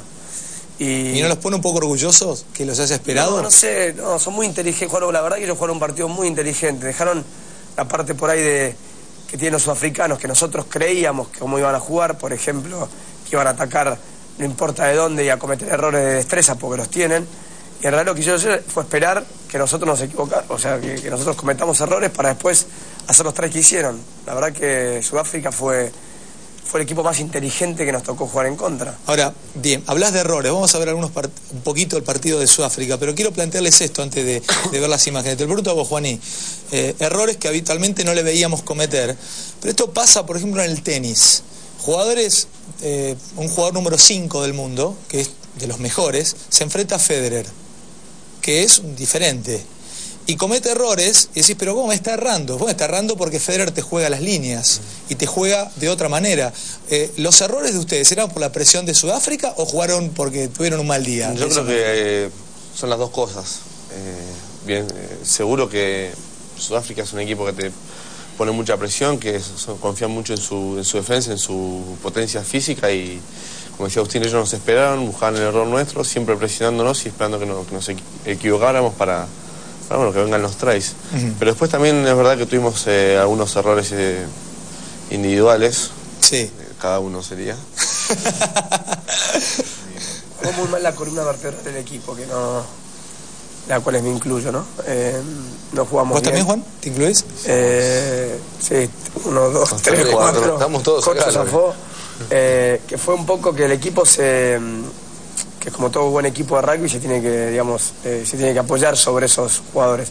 Y tener la suerte que, que- este equipo la tiene y la tiene bien la tiene bien plantada. Y bueno, ese partido jugamos mal. La verdad que jugamos mal porque nos hacen un try de intercepción cuando dominamos, no, o sea, lo estábamos dominando completamente el partido contra Sudáfrica. Estaba, lo veíamos que íbamos para adelante, los forwards como casi ningún partido lo estábamos jugando y Sudáfrica es el, rival que más duro físicamente y ellos iban para atrás y de golpe cuando estamos en las 25 yardas de ellos cometemos un error, try de 80 metros. Hoy a nivel internacional y en una semifinal un try de 80 metros No existe. que parte al medio, ¿no? Es lo como, como Francia, el try de Nani que hace Nani, que intercepción cuando René Martán la pasa y la agarra a bracito. Esos tries te matan, es como que te agarren, viste, se- te matan, te rompen el medio. No lo esperás. Pum. No, te matan aparte, porque vos tenés que salir a buscar contra un equipo que es un equipo espectacular. No es, no es, no estás jugando contra, sin desmerecer a Georgia, a Namibia, pero no estás jugando contra, estás jugando contra equipos que no te van a regalar nada en ningún momento. Claro. ¿Quieren ver? Vamos a ver un pedacito con audio video. original de, de- de- del Cortito. negro de Taquini. Oh. Vamos a ver, dale, Cortito. Sudáfrica.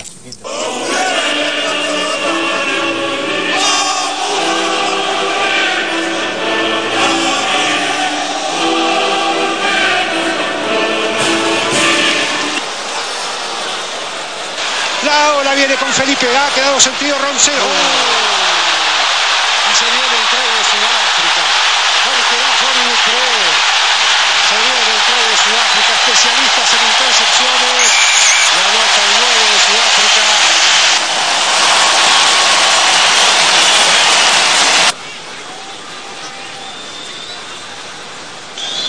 Ahí va el disparo de Felipe Contepomia. Dentro. Descuentan los Pumas. Sudáfrica gana 10 a 6. Mm, mm, no me gusta, Rulo. No me gusta. Habana. No me gusta que dice, mirá que me lo picó. Qué tarro que tiene de bombo libre. Bravo, bravo, Habana. Trae Argentina. Está por fuera. Juan Suchó.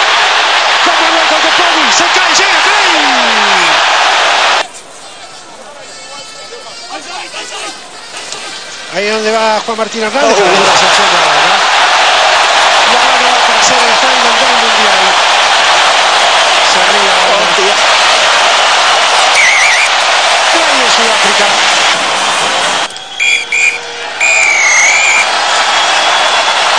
Y la Argentina que batalló buscando un lugar en la final, cometió demasiados errores y quedó a merced de un equipo realmente implacable. Bueno, nos quedamos con el llanto, muchachos. Este, la foto de este partido, eh, más allá de los errores que ustedes hablan, el llanto fue contundente. Al otro día en Argentina se hablaba de, las lágrimas, de la amargura, se agarraba en la cabeza, Juan, y bueno, los, ustedes dos uno al lado del otro llorando. Fue tremendo la imagen. Y es que pasa que obviamente duele perder. Eh, teníamos, eh, contábamos con la posibilidad de 80 minutos para jugar en lo máximo que es el, el deporte nuestro del rugby, que era una final de mundial. Y bueno, que haber perdido y que se- te quiten esa ilusión, a mí y a- creo que a todos nos dolió muchísimo. Me dijeron los que estuvieron allá que bueno, todos estaban destruidos, pero que vos no te podías recuperar, que tenías una depresión profundísima. Sí, a mí me costó mucho. Yo cuando Mario le preguntabas vos eh, el tema de los días libres y eso, a mí, yo necesito estar eh, uno o dos días después de los partidos, necesito estar completamente desenchufado de todo, por, porque llegas con tanta adrenalina y con una carga emotiva tan grande a un partido, que después necesitas, o yo por lo menos, ellos saben que yo me voy al cuarto, me encierro bastante en el cuarto, necesitas como desenchufar o, leer o salir del momento porque vivís, vivís una tensión muy grande psicológica. Después del partido contra Sudáfrica fue muy, muy duro, muy duro. Eh, estuve con mis amigos en la 74 en París, me fui a París, eh, después me encerré en el cuarto y, después tuvimos una idea, que es lo que vos estabas hablando de Disney, y que creo que fue un acierto, fue algo que, que si perdías te iban a putear hasta en arameo. Eh, porque parecía ser, todo el mundo hablaba, decía, no, estos perdieron, lloran todo, pero están en Euro Disney con el pato Donald y sacándose fotos con Minnie y Mickey. Eh, y la verdad que fuimos con todas las familias a Disney. Ahí tenemos imágenes, ¿eh? de Eh, ustedes ya en Euro Disney. Con Leggy y el corcho, los dos capocómicos a la carga de los gritos, todo. Y con la familia, está la familia, ahí está mi familia. Eh, fue muy lindo, recargamos energía de una forma increíble. Y eso nos ayudó mucho a encarar el entrenamiento al miércoles. Es como que acá el equipo cambió la cara. Pues estamos, estamos todos juntos disfrutando de nuestra familia. Estuvo muy, muy bueno. Mirá vos. Muy bueno. Ficha. Todos lo dijimos en- con el Bocha, nos sentamos y con Chalo, que somos un poquito más grandes y estábamos con nuestras familias, nos sentamos a disfrutar eh, del momento que habíamos pasado juntos en el hotel después, que estás en el medio de un mundial y te queda todavía un partido durísimo. Decíamos que bueno había sido poder disfrutar todos juntos ese momento con nuestros hijos, con los hijos del Chalo, que habían ido a París, con los hijos, con la- con los hijos del Bocha. La verdad que fue, fue muy lindo. Fue un ¿Se momento subieron, lindo. hicieron juegos, eh, eh, este, Mario? ¿Se subieron? Sí, Este, muy ¿sí? bueno. Sí, sí. ¿Hubo alguno especial? No, Porque ustedes de- necesitan juego con adrenalina, no pueden. un par de montañas rusas muy buenas. ¿Sí? Sí, muy buenas, muy divertido. Pero es lo que dice Ficha, la verdad que hacía rato yo no disfrutaba un día con la familia y con amigos así. Yo tuve la suerte como Ficha que también viajaron muchos amigos míos, así que estuvo espectacular, espectacular. Corcho, lo más importante, ¿les cobraban en los juegos o adelante? No, no nos cobraron y no hacíamos cola. Era un placer. Ir así a Disney es lo mejor que te puede Los pasar. se pasaban todo comida, el día así, para comer y también. no Exacto, para comer, no, no hay cola. también, Es un placer, ¿entendés? Pasás estos juegos. Ah, bueno. Si no, no vas, es una hora de cola, te aburrís. Te matá. ¿Cómo, Chalo? También, ¿Cómo? hasta los regalos para los chicos fue Ah, esa no sabía. Vos te quedaste afuera. Che, no así que sin hacer cola, ficha y adentro. No, nos trataron, la verdad que la gente de Disney trató. Muy, muy bien. Nos fueron a buscar, eh, todas las familias nos llevaban con, con guías para nosotros. Eh, no, la verdad que fue un día increíble. Y te- tenían personajes todos, o sea, en la infancia todos tenemos personajes preferidos de Disney. Son medio. No sé, pero hay uno en el otro sillón que le pegaba a. ¿Cómo se llama? A Daisy.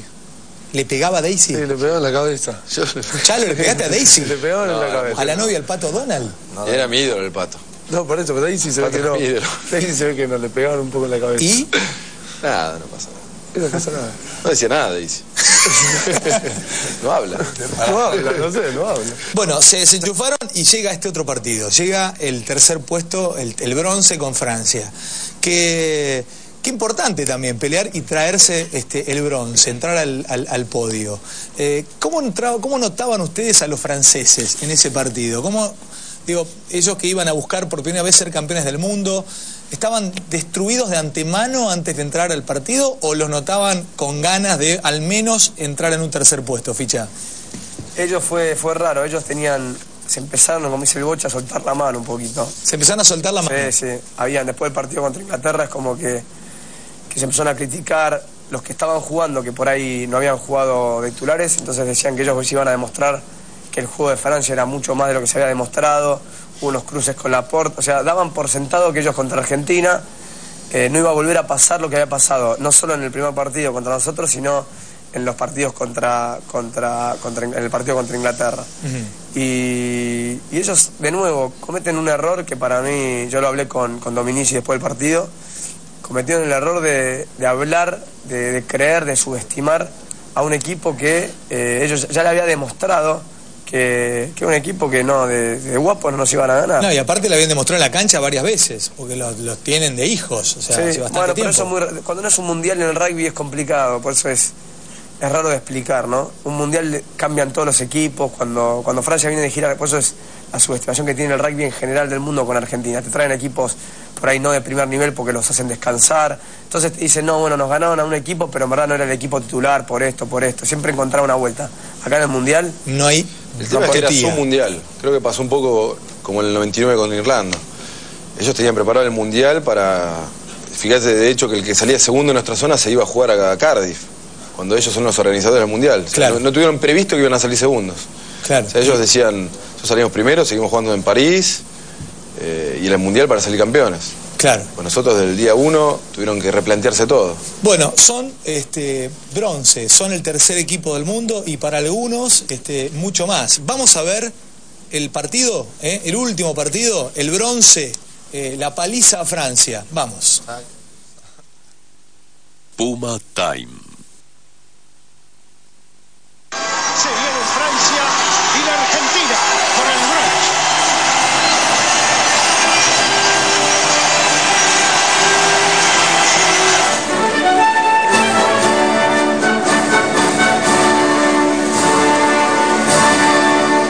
Chance para la Argentina.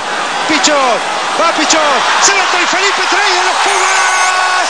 Felipe Contepomi, jugadón.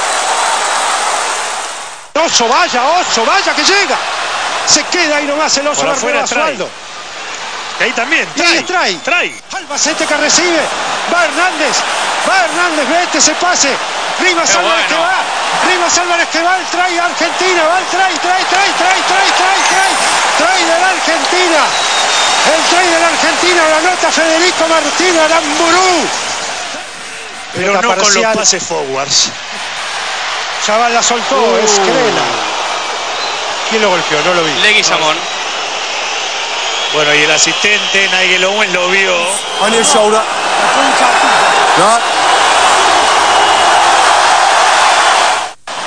Se tiró la intercepción. Agulla. Sigue Agulla. Váyase. Váyase que trae de Corleto. Váyase que trae de Corleto. Y Corleto va a traer. Y va a traer. A liquidar este partido. A terminar este mundial. Dani Corleto. Y un nuevo trae. Festejen Pumas. Que Nicolás. Felipe. Trae de los Pumas. Trae de los Pumas. De nuevo. Felipe Contepomi.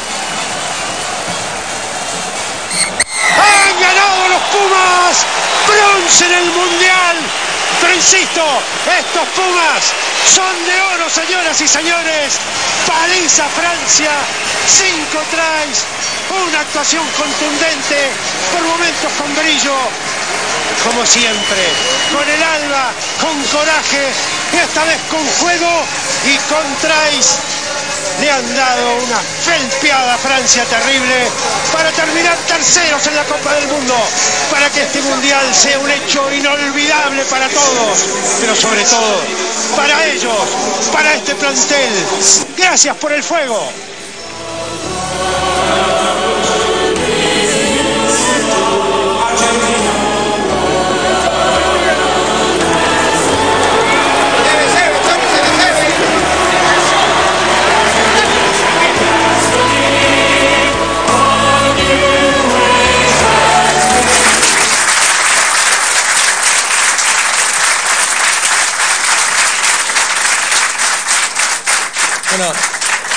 Esta es la foto para hablar, muchachos. Este, el abrazo que es de Agustín, pero creo que es de- le hubiera sido de todos, o fue de todos con el Tano, con Lofreda.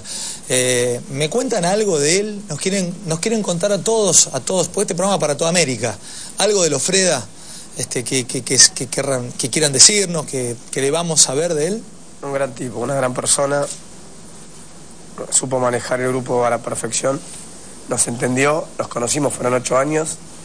Y nada, supo, supo marcar los tiempos de una forma, una forma espectacular. Y nada, creo que muchas de las cosas del equipo son méritos de él y del Banana, que también un tipo que no aparece mucho, pero que es de fierro. Y, nada, me parece que todos los, los colaboradores y todos tuvieron un mundial también espectacular. Fue parte del grupo Lofreda. Muchas veces los técnicos lo son en los papeles, pero después no lo son en la acción. O sea, en las concentraciones, cuando llega, este, están hablando de algo, se deja de hablar de eso. Este, no es uno más. ¿Cómo es este, el, el o cómo son ustedes con, con Lofreda? Yo creo que él siempre tra- trató de marcar una, una distancia con, con los jugadores, pero este último tiempo y sobre todo el Mundial se le hizo casi, casi imposible. Yo no sé si, bueno, creo que lo dijo, este, él sentía que era una familia para él, este, y que él diga una cosa así, un tipo tan cerrado como es él, nada, dice mucho y creo que este no cerrado este así que creo que se le hizo muy difícil mantener esa distancia. Ya lo último hacía ocho años que estábamos juntos viviendo un montón de cosas y aparte él siente él y Banana y todos los colaboradores sienten el rugby hasta no, no sé los, el- los kinesiólogos el, el médico sienten el rugby igual que nosotros así que Yo creo que gran esa- parte del mérito eh, de lo que hoy es este equipo también es que tanto él como todo, todo su grupo de colaboradores, lo primero fue siempre el jugador, cosa que muchas veces eh, fuera de la cancha no pasa. Eh, hay gente que se confunde y primero hay otras cosas antes que el jugador. Acá el rugby lo juegan los jugadores y esa es la gran importancia que le dio el Tano con el Banana y con todos sus colaboradores. Primero estuvimos siempre nosotros, o sea, más allá de que, siempre los jugadores. mirá más vos. allá de que, que nosotros, o sea, nos equivocamos, eh, le aportamos muchas cosas, ellos nos aportaron otras, pero discutimos como gente grande, como nos podíamos sentar a hablar, pero, Pero siempre sintieron siempre ustedes al que el los bancaba. Siempre al servicio nuestro y no de, de nuestros caprichos, sino de, de- de realmente las cosas que necesitamos y eh, para, para llegar a donde pudimos llegar. O sea, Creo que eso fue, eh, para mí, lo, que hay que resaltar de estos ocho, ocho años, ¿no? que si este grupo es así es por, por todo ese trabajo. por tipos como Lofreda. Voy a hablarles del futuro ahora, porque estamos terminando el repaso de este, de este mundial, de esta vida de ustedes este, en este mundial. Y antes de preguntarles sobre la actualidad, sobre el futuro, ya sabemos que Juani se queda un año más jugando el Estado francés, no sabemos qué va a hacer Agustín Pichot, están en el que esperando a, a Chalo, pero todavía no hay nada definido. Hay una sola manera de mirar este homenaje que le estamos haciendo a los Pumas aquí en ESPN Studio. Mira. Vamos a hablar del futuro, que estamos hablando de los nuevos proyectos y de otras cosas. Y contestemos esta pregunta, Agu. Eh, recién les contaba que en el 2006, cuando estuvo por aquí Enrique, que era el coach de All Blacks, dijo, los Pumas fueron el equipo con más crecimiento en el mundo en los últimos tiempos. Pregunto, ¿quiénes crecieron? ¿Ustedes, este grupo de 25 30? Eh, ¿O creció la camiseta? ¿Creció la selección? Este, no vale decir las dos cosas. A ver, No, ¿qué la- creció? Creo que hay que separar. La camiseta creo que viene muy ligado a- al jugador. Me parece que es un es, la- es la- es lo más lindo que te puede pasar como jugador es vestir la camiseta del seleccionado argentino. Vos sos parte, o sea, es, es parte tuya en la evolución de un equipo. O sea, no puedes haber una cosa y no la otra. Lo que sí, eh, dentro de un equipo nacional de elite como es este donde jugás, cuando todo un sistema es completamente distinto, eh, es muy difícil que vayan los dos juntos. O por lo menos en el rugby argentino no se dio. Acá creció muchísimo. Se tuvo que aislar un grupo de jugadores con un cuerpo técnico para no enviciarse todos los problemas políticos que quedan en el rugby argentino. Entonces, eh, no tengo dudas que, que este equipo creció. Aparte, no te olvides que nosotros todos estamos contratados. O sea, el rugby argentino hizo que los jugadores nos tengamos que ir afuera, estar a 12 horas de avión para crecer. Porque en realidad la mayoría de nosotros está jugando profesional. Hicimos un cambio increíbles cuando fuera. Por un tema simple. Ahora, Gu, perdón, cont- contéstemelo, quiero saberlo, ¿no? Desde, desde el llano, desde la gente. ¿Por qué cuando vos hablás con, no sé, con Manazas, este, Fernández Miranda, hablás con uno de los chicos que siguen jugando acá, están felices de poder seguir comprándose la camiseta, de poner en nafta el auto? Este, digo, algunos, no todos. Digo, hay como, es, es raro, porque ustedes han, están en el primer nivel mundial. Digo, y sin embargo estos pibes tienen que comprarse la camiseta para ir, y son tienen que pagar la cuota son societaria del son club. dos cosas distintas, Ale. Una cosa es jugar con tus amigos en tu club y disfrutar de la amistad de- del club de, de donde vos viviste y otra cosa muy distinta es estar jugando contra los All Blacks. Claro. Entonces hay que, hay que separar esas dos cosas. Hay que saber que hay un equipo que necesita prepararse. Es lo que no entendía en el año pasado. El equipo tiene que separarse de lo que es el rugby, eh, digamos, de clubes, pero separarse para bien, que, que los fondos de ese equipo nutran el rugby amateur. Pero, pero no hacer destruir este para porque en realidad no es identidad de este. Yo me siento más identificado con el casi que- que- que- que ninguno. Eh, porque me, creí, me, me- me crié ahí, porque jugué de los cuatro años, porque por mi viejo, por mi tío, por mis primos, por mis hermanos. Entonces eso no me lo va a sacar nadie, por más que yo haya sido profesional. Ahora, lo que yo te hablaba antes de amateurismo y profesionalismo, todo el tiempo se, se, eh, se los pone en contra, como que váyanse a jugar a Europa y no, no envicien el, el rugby de acá. No envicien. Claro, pero después son los primeros que vienen y te dan un abrazo y digan, vamos Pumas. Entonces hay una hipocresía muy grande en el rugby argentino. Entonces tiene que cambiar, decir, bueno, queremos los Pumas así, queremos que haya jugadores que han decidido ser profesionales. Pero también tenemos que seguir creciendo en los clubes y que los clubes sigan siendo amateurs y que los chicos de 4 años, 10 años, 12, 15, hasta los 17 sigan disfrutando de los amigos, porque así tiene que ser, porque es el capital más fuerte que hay. Pero las primeras de los clubes teniendo jugadores rentados, les pregunto, no, ¿no? la primera no, no, hay que separar, no, tampoco. La- los clubes tienen que ser los clubes. Hay que crear otro sistema. A ver. Que sea distinto a los clubes. ¿Pero y dónde va a jugar un tipo rentado? ¿Dónde va a No, hay regionales, hay, hay hay muchas formas de inventar campeonatos. No necesariamente el jugador se tiene que ir a jugar a Europa para, para jugar un campeonato exigente. Se pueden armar, nada, hay que pensar. Lo que pasa es que hay que sentarse a pensar y pensar esa parte como una, una parte empresarial. Bien. Como son todos hoy los países del mundo. Nosotros jugamos contra em- empresas y equipos también que se preparan en un nivel espectacular. De detrás de cada equipo hay una empresa Sí, no en Europa. duda. ¿Por qué te crees que no entramos en el Tri Nations o en el Seis Naciones? Todo el mundo habla de la filosofía. No entras porque no, no, no, no, no aportás nada ahí, eh, económicamente. Por eso no entramos. No es que no- los resultados no se daban. Hace cuatro años que venimos ganando la Sí. mayoría de los partidos. No es que fue ahora en el Mundial. Y no entras porque no les no conviene. entras porque no les generás ningún recurso extra. Ellos te tienen que repartir una porción de la torta y vos no. A ellos no les aportás nada. ¿Por qué te van a dar a vos si vos no le das a ellos? Por eso, es- por eso te digo, hay que, hay que empujar, empezar a empujar todos. ¿Qué es lo que pasa? Unitarios federales, todos los problemas siempre interior contra Buenos Aires. El rugby tiene mucho de eso. Hay que acabar con eso y que, que acaben, porque nosotros no somos dirigentes, que vayan para un mismo lado. Y ya Ahora, perdón. Ficha, este, no sé, es interesantísimo el debate, ¿no? Eh, Bocha se les va a poner muy pesado. Esto que ustedes han generado es un precedente. Digo, a partir, si no, si no cambia ahora, no cambia más. Pero no es función. ¿Eh? Las condiciones están dadas. La PACET asumió ahora como, asume ahora como presidente del IRB. Dijo que el primer tema que iban a tratar era la, la incorporación de Argentina en alguna competencia. No sé con cuánta, con cuánta rapidez lo eh, lo, lo, lo pueden llegar a tratar. Pero me parece que bueno, están dadas las condiciones para, para que integremos algo. Depende, como dice Ficha, de la gente que está a cargo de la, de la Unión Argentina de Rugby. No, pero bueno, ¿sabes qué? Una cosa más. Por primera vez sentí que me pareció algo muy lindo, que los clubes apoyaban a los Pumas. ¿Sí? Se dio por vez, al menos de los 13 años que yo estoy, que me llamaban de cualquier club de la Argentina, mails, llamados, y la gente se, es como que estaba, eran hinchas del seleccionado. Afuera, a mí no sé, no sé los chicos, pero era increíble, se alquilaban en clubes que te cuentan. Nico Fernández Miranda nos contaba que Hindú nunca apoyó a los Pumas y que estaba bien alquilado las pantallas gigantes para verlo. Nos estás contando, eh, eh, Ficha, nos están contando algo que nosotros no sabemos, ¿eh? Porque nosotros los que no, no, no, somos no del mundo ¿cómo que- no, no podemos Ahora, imaginar que... no, no se sienten, eh, claro, identificados. No podemos Yo tengo imaginar- amigos también que. ¿cómo no te va a apoyar un Y amigos míos que yo capaz estoy sí, jugando y. hoy en día me dicen, realmente nos hicieron ser eh, fanáticos de, de- de los Pero si Pumas. se juegan cuando- partidos de rugby, la urba hace no, no mucho, se juegan los partidos de rugby de los clubes en el mismo horario. Yo he jugado partidos de los Pumas cuando amigos míos estaban jugando en la primera de su club.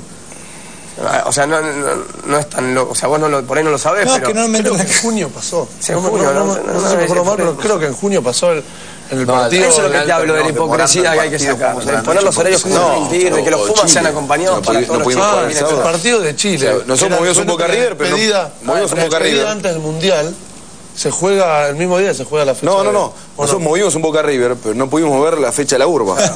O sea, nosotros tuvimos, tuvi- tuvimos que jugar el domingo. Tuvimos que jugar el domingo para. ¿entendés? Eso te pasa, pero si no puede ser. Sí, no puede ser, pero sí.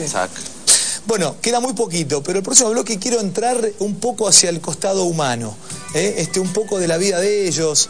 Ya lo hablamos del cambio, ¿no? De llegar en antes y en después, pero este, de su vida, no sé, Juani, hombre que desde muy chiquito empezó jugando en Deportiva Francesa, este, con Chalo, qué será de su vida, con, con Mario, este, con, con Corcho, con Ficha, que seguirá jugando a rugby, ¿dónde? Ya volvemos, dale.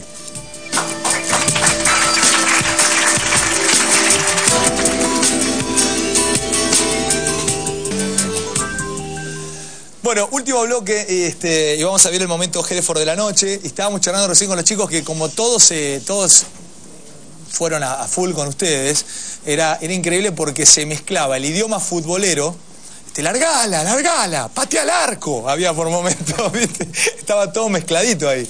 Y, fue como que hubo así una sensación de selección de fútbol con lo que pasó. Cuénteme algo de sus vidas, digo, de, de- de cómo llegan a esto. Vos sos de, de Curupaití, vos empezaste a jugar en Curupaití, Mario, ¿no? No, yo empecé en regatas, Sí. que me llevaron muy chiquitos. ¿Están en regatas? Sí. Ah. Este, después me fui al Casi, Sí. este, jugué 4 o 5 años. ¿eh? Sí, un panqueque. Este, porque me llevó papá que había jugado en el Casi con el papá de, Ficha y habíamos veraneado juntos con el enano y nos convencieron, nos fuimos para allá. Y después cuando el viaje se hizo medio pesado, yo me volví me volví a Curupa, va, me volví, me fui a Curupa que eran todos mis compañeros del colegio. Ajá. Se enfre- son de distintas generaciones, pero ¿se enfrentaron acá en el rugby de Argentina? ¿Llegaron a Vos, Chalo, jugar? jugamos, los que estamos en contra, yo con vos. Con ficha sí, con, con ellos creo que. No, no. Con fichas sí. Sí. Bueno, e- es muy interesante esto, el tema de la amistad en el rugby. Todos eh, tendrán compañeros, se enfrentaron, bueno, vos con Demisil, todos, ¿no? Han tenido compañeros. ¿Qué pasa cuando enfrentás un flaco que todo el año compartís club? Que vas en el auto, que vas a comer. Bueno. ¿Eh? ¿Qué pasa? Muy bueno. No, no, le querés ganar, pero una cosa es en el fútbol que vas a trabar y bueno, te lo levantas, pero acá si le puedes romper la cabeza, Yo jugar la final de, de Francia de este año contra, mi hermano. contra Pedro, claro. Y los chicos también. ¿Y qué pasó con tu hermano, con Pedro? No, no lo miré todo el partido. Y el atorrante me metió un tacle, perdí la pelota, todo. Yo lo veo y medio me freno, me sacó la alfombra, plum. Ni lo miraste tampoco. No, ahí sí, pero pensé que no me iba a taclear. Ahora, Si te conoces también sabés que es parte del juego, no sé. Yo me acuerdo jugando contra Mauro Reyardo, que jugamos muchos años en los Pumas. Eh, me puso un trompazo, yo lo agarro a él, pero son cosas que conociéndolo después sabés que, que después viene la joda, o sea, no. Queremos despedirnos de este programa con el momento más emotivo de la noche, que es este, auspiciado por Vino Hereford, que nos invita a compartir el mejor momento del programa junto a los Pumas, indiscutiblemente los mejores en los suyos, y para agasajarlo lo vamos a hacer con nuestro mejor ejemplar. Ha- han logrado, han logrado eh, que todo el mundo hable, entre otras cosas, de cómo ustedes sentían y cantaban el himno. Le han tirado una presión enorme a los muchachos del Coco Basile. El primero que mastique chicle y escupa cuando se canta el himno y no se sepa la letra, sale de la titularidad a partir de ahora. Ah, Después de ver esta imagen. Me parece que se, no, no- no se fue demasiado justo. Se los atacaron demasiado. Me parece a los de fútbol les tiraron. Se agarraron de algo para tirarles con todo y. Cada uno Cada uno lo lo vive, como- cada uno lo vive a su propia manera. Pero podemos ver esto. Quiero Totalmente, verlo, pero cada uno- Veámoslo. Fíjate, por, por ahí ustedes no le prestaron atención. Detenidamente miren los rostros. Fíjense de lo que habla todavía hoy este, el, eh, Argentina. Miren.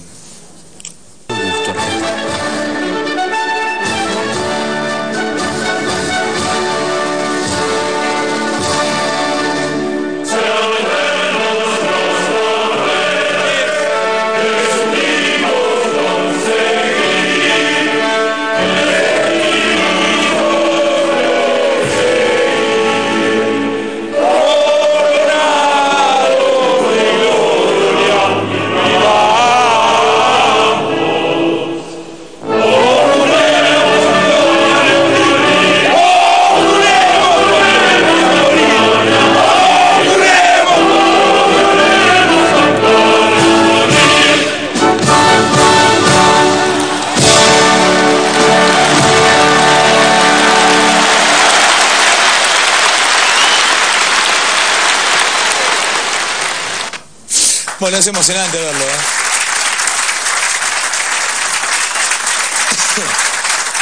Estabas hablando, Corcho, te interrumpí justito. No, no, no. Decía lo que estaba por decir Chalo. Cada uno lo vive de su propia manera.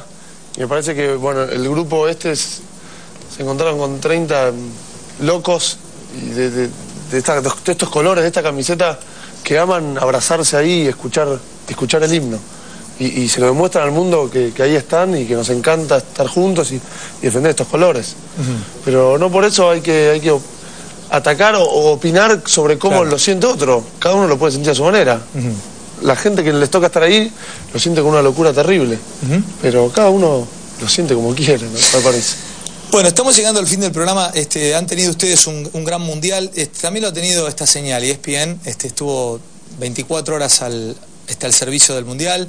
Este, nosotros desde nuestra productora, desde allí estamos muy felices de poder llevar adelante ESPN Studio. Muchas historias de vida hemos descubierto en este programa y en este canal en ESPN. Lo queremos felicitar, ¿eh? junto con Ricky, con el señor Cohen, ex pilar de Cuba.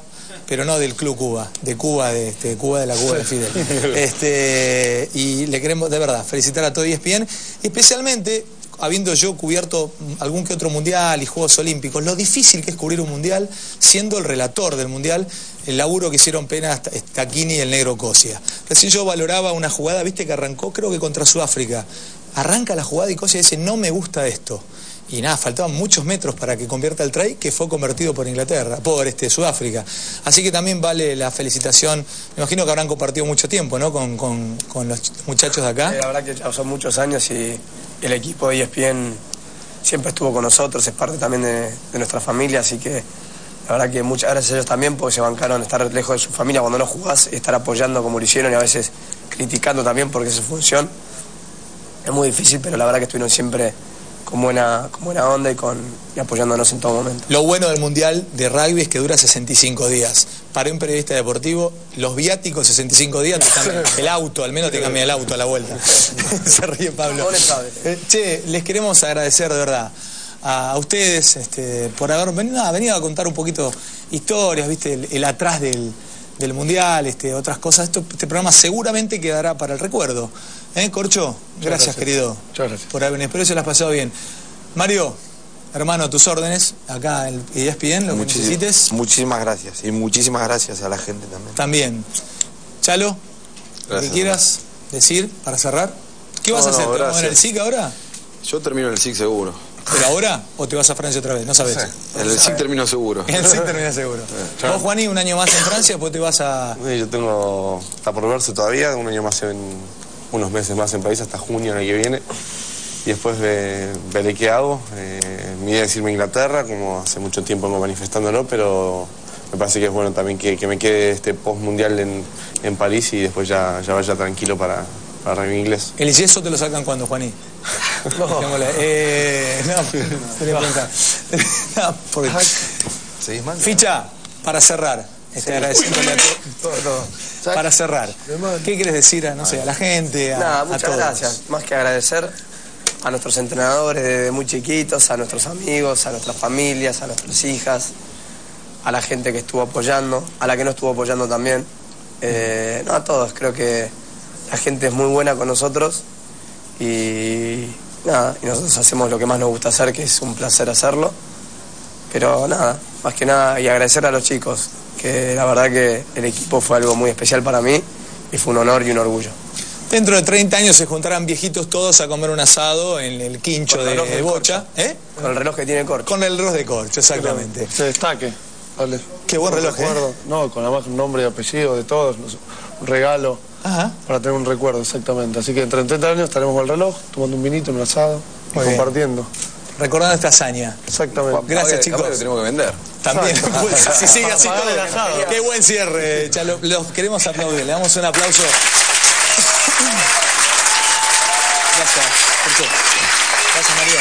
Gracias, querido. Gracias, Gonzalo. Gracias, Tony. Gracias, Pita, por todo. ¿eh?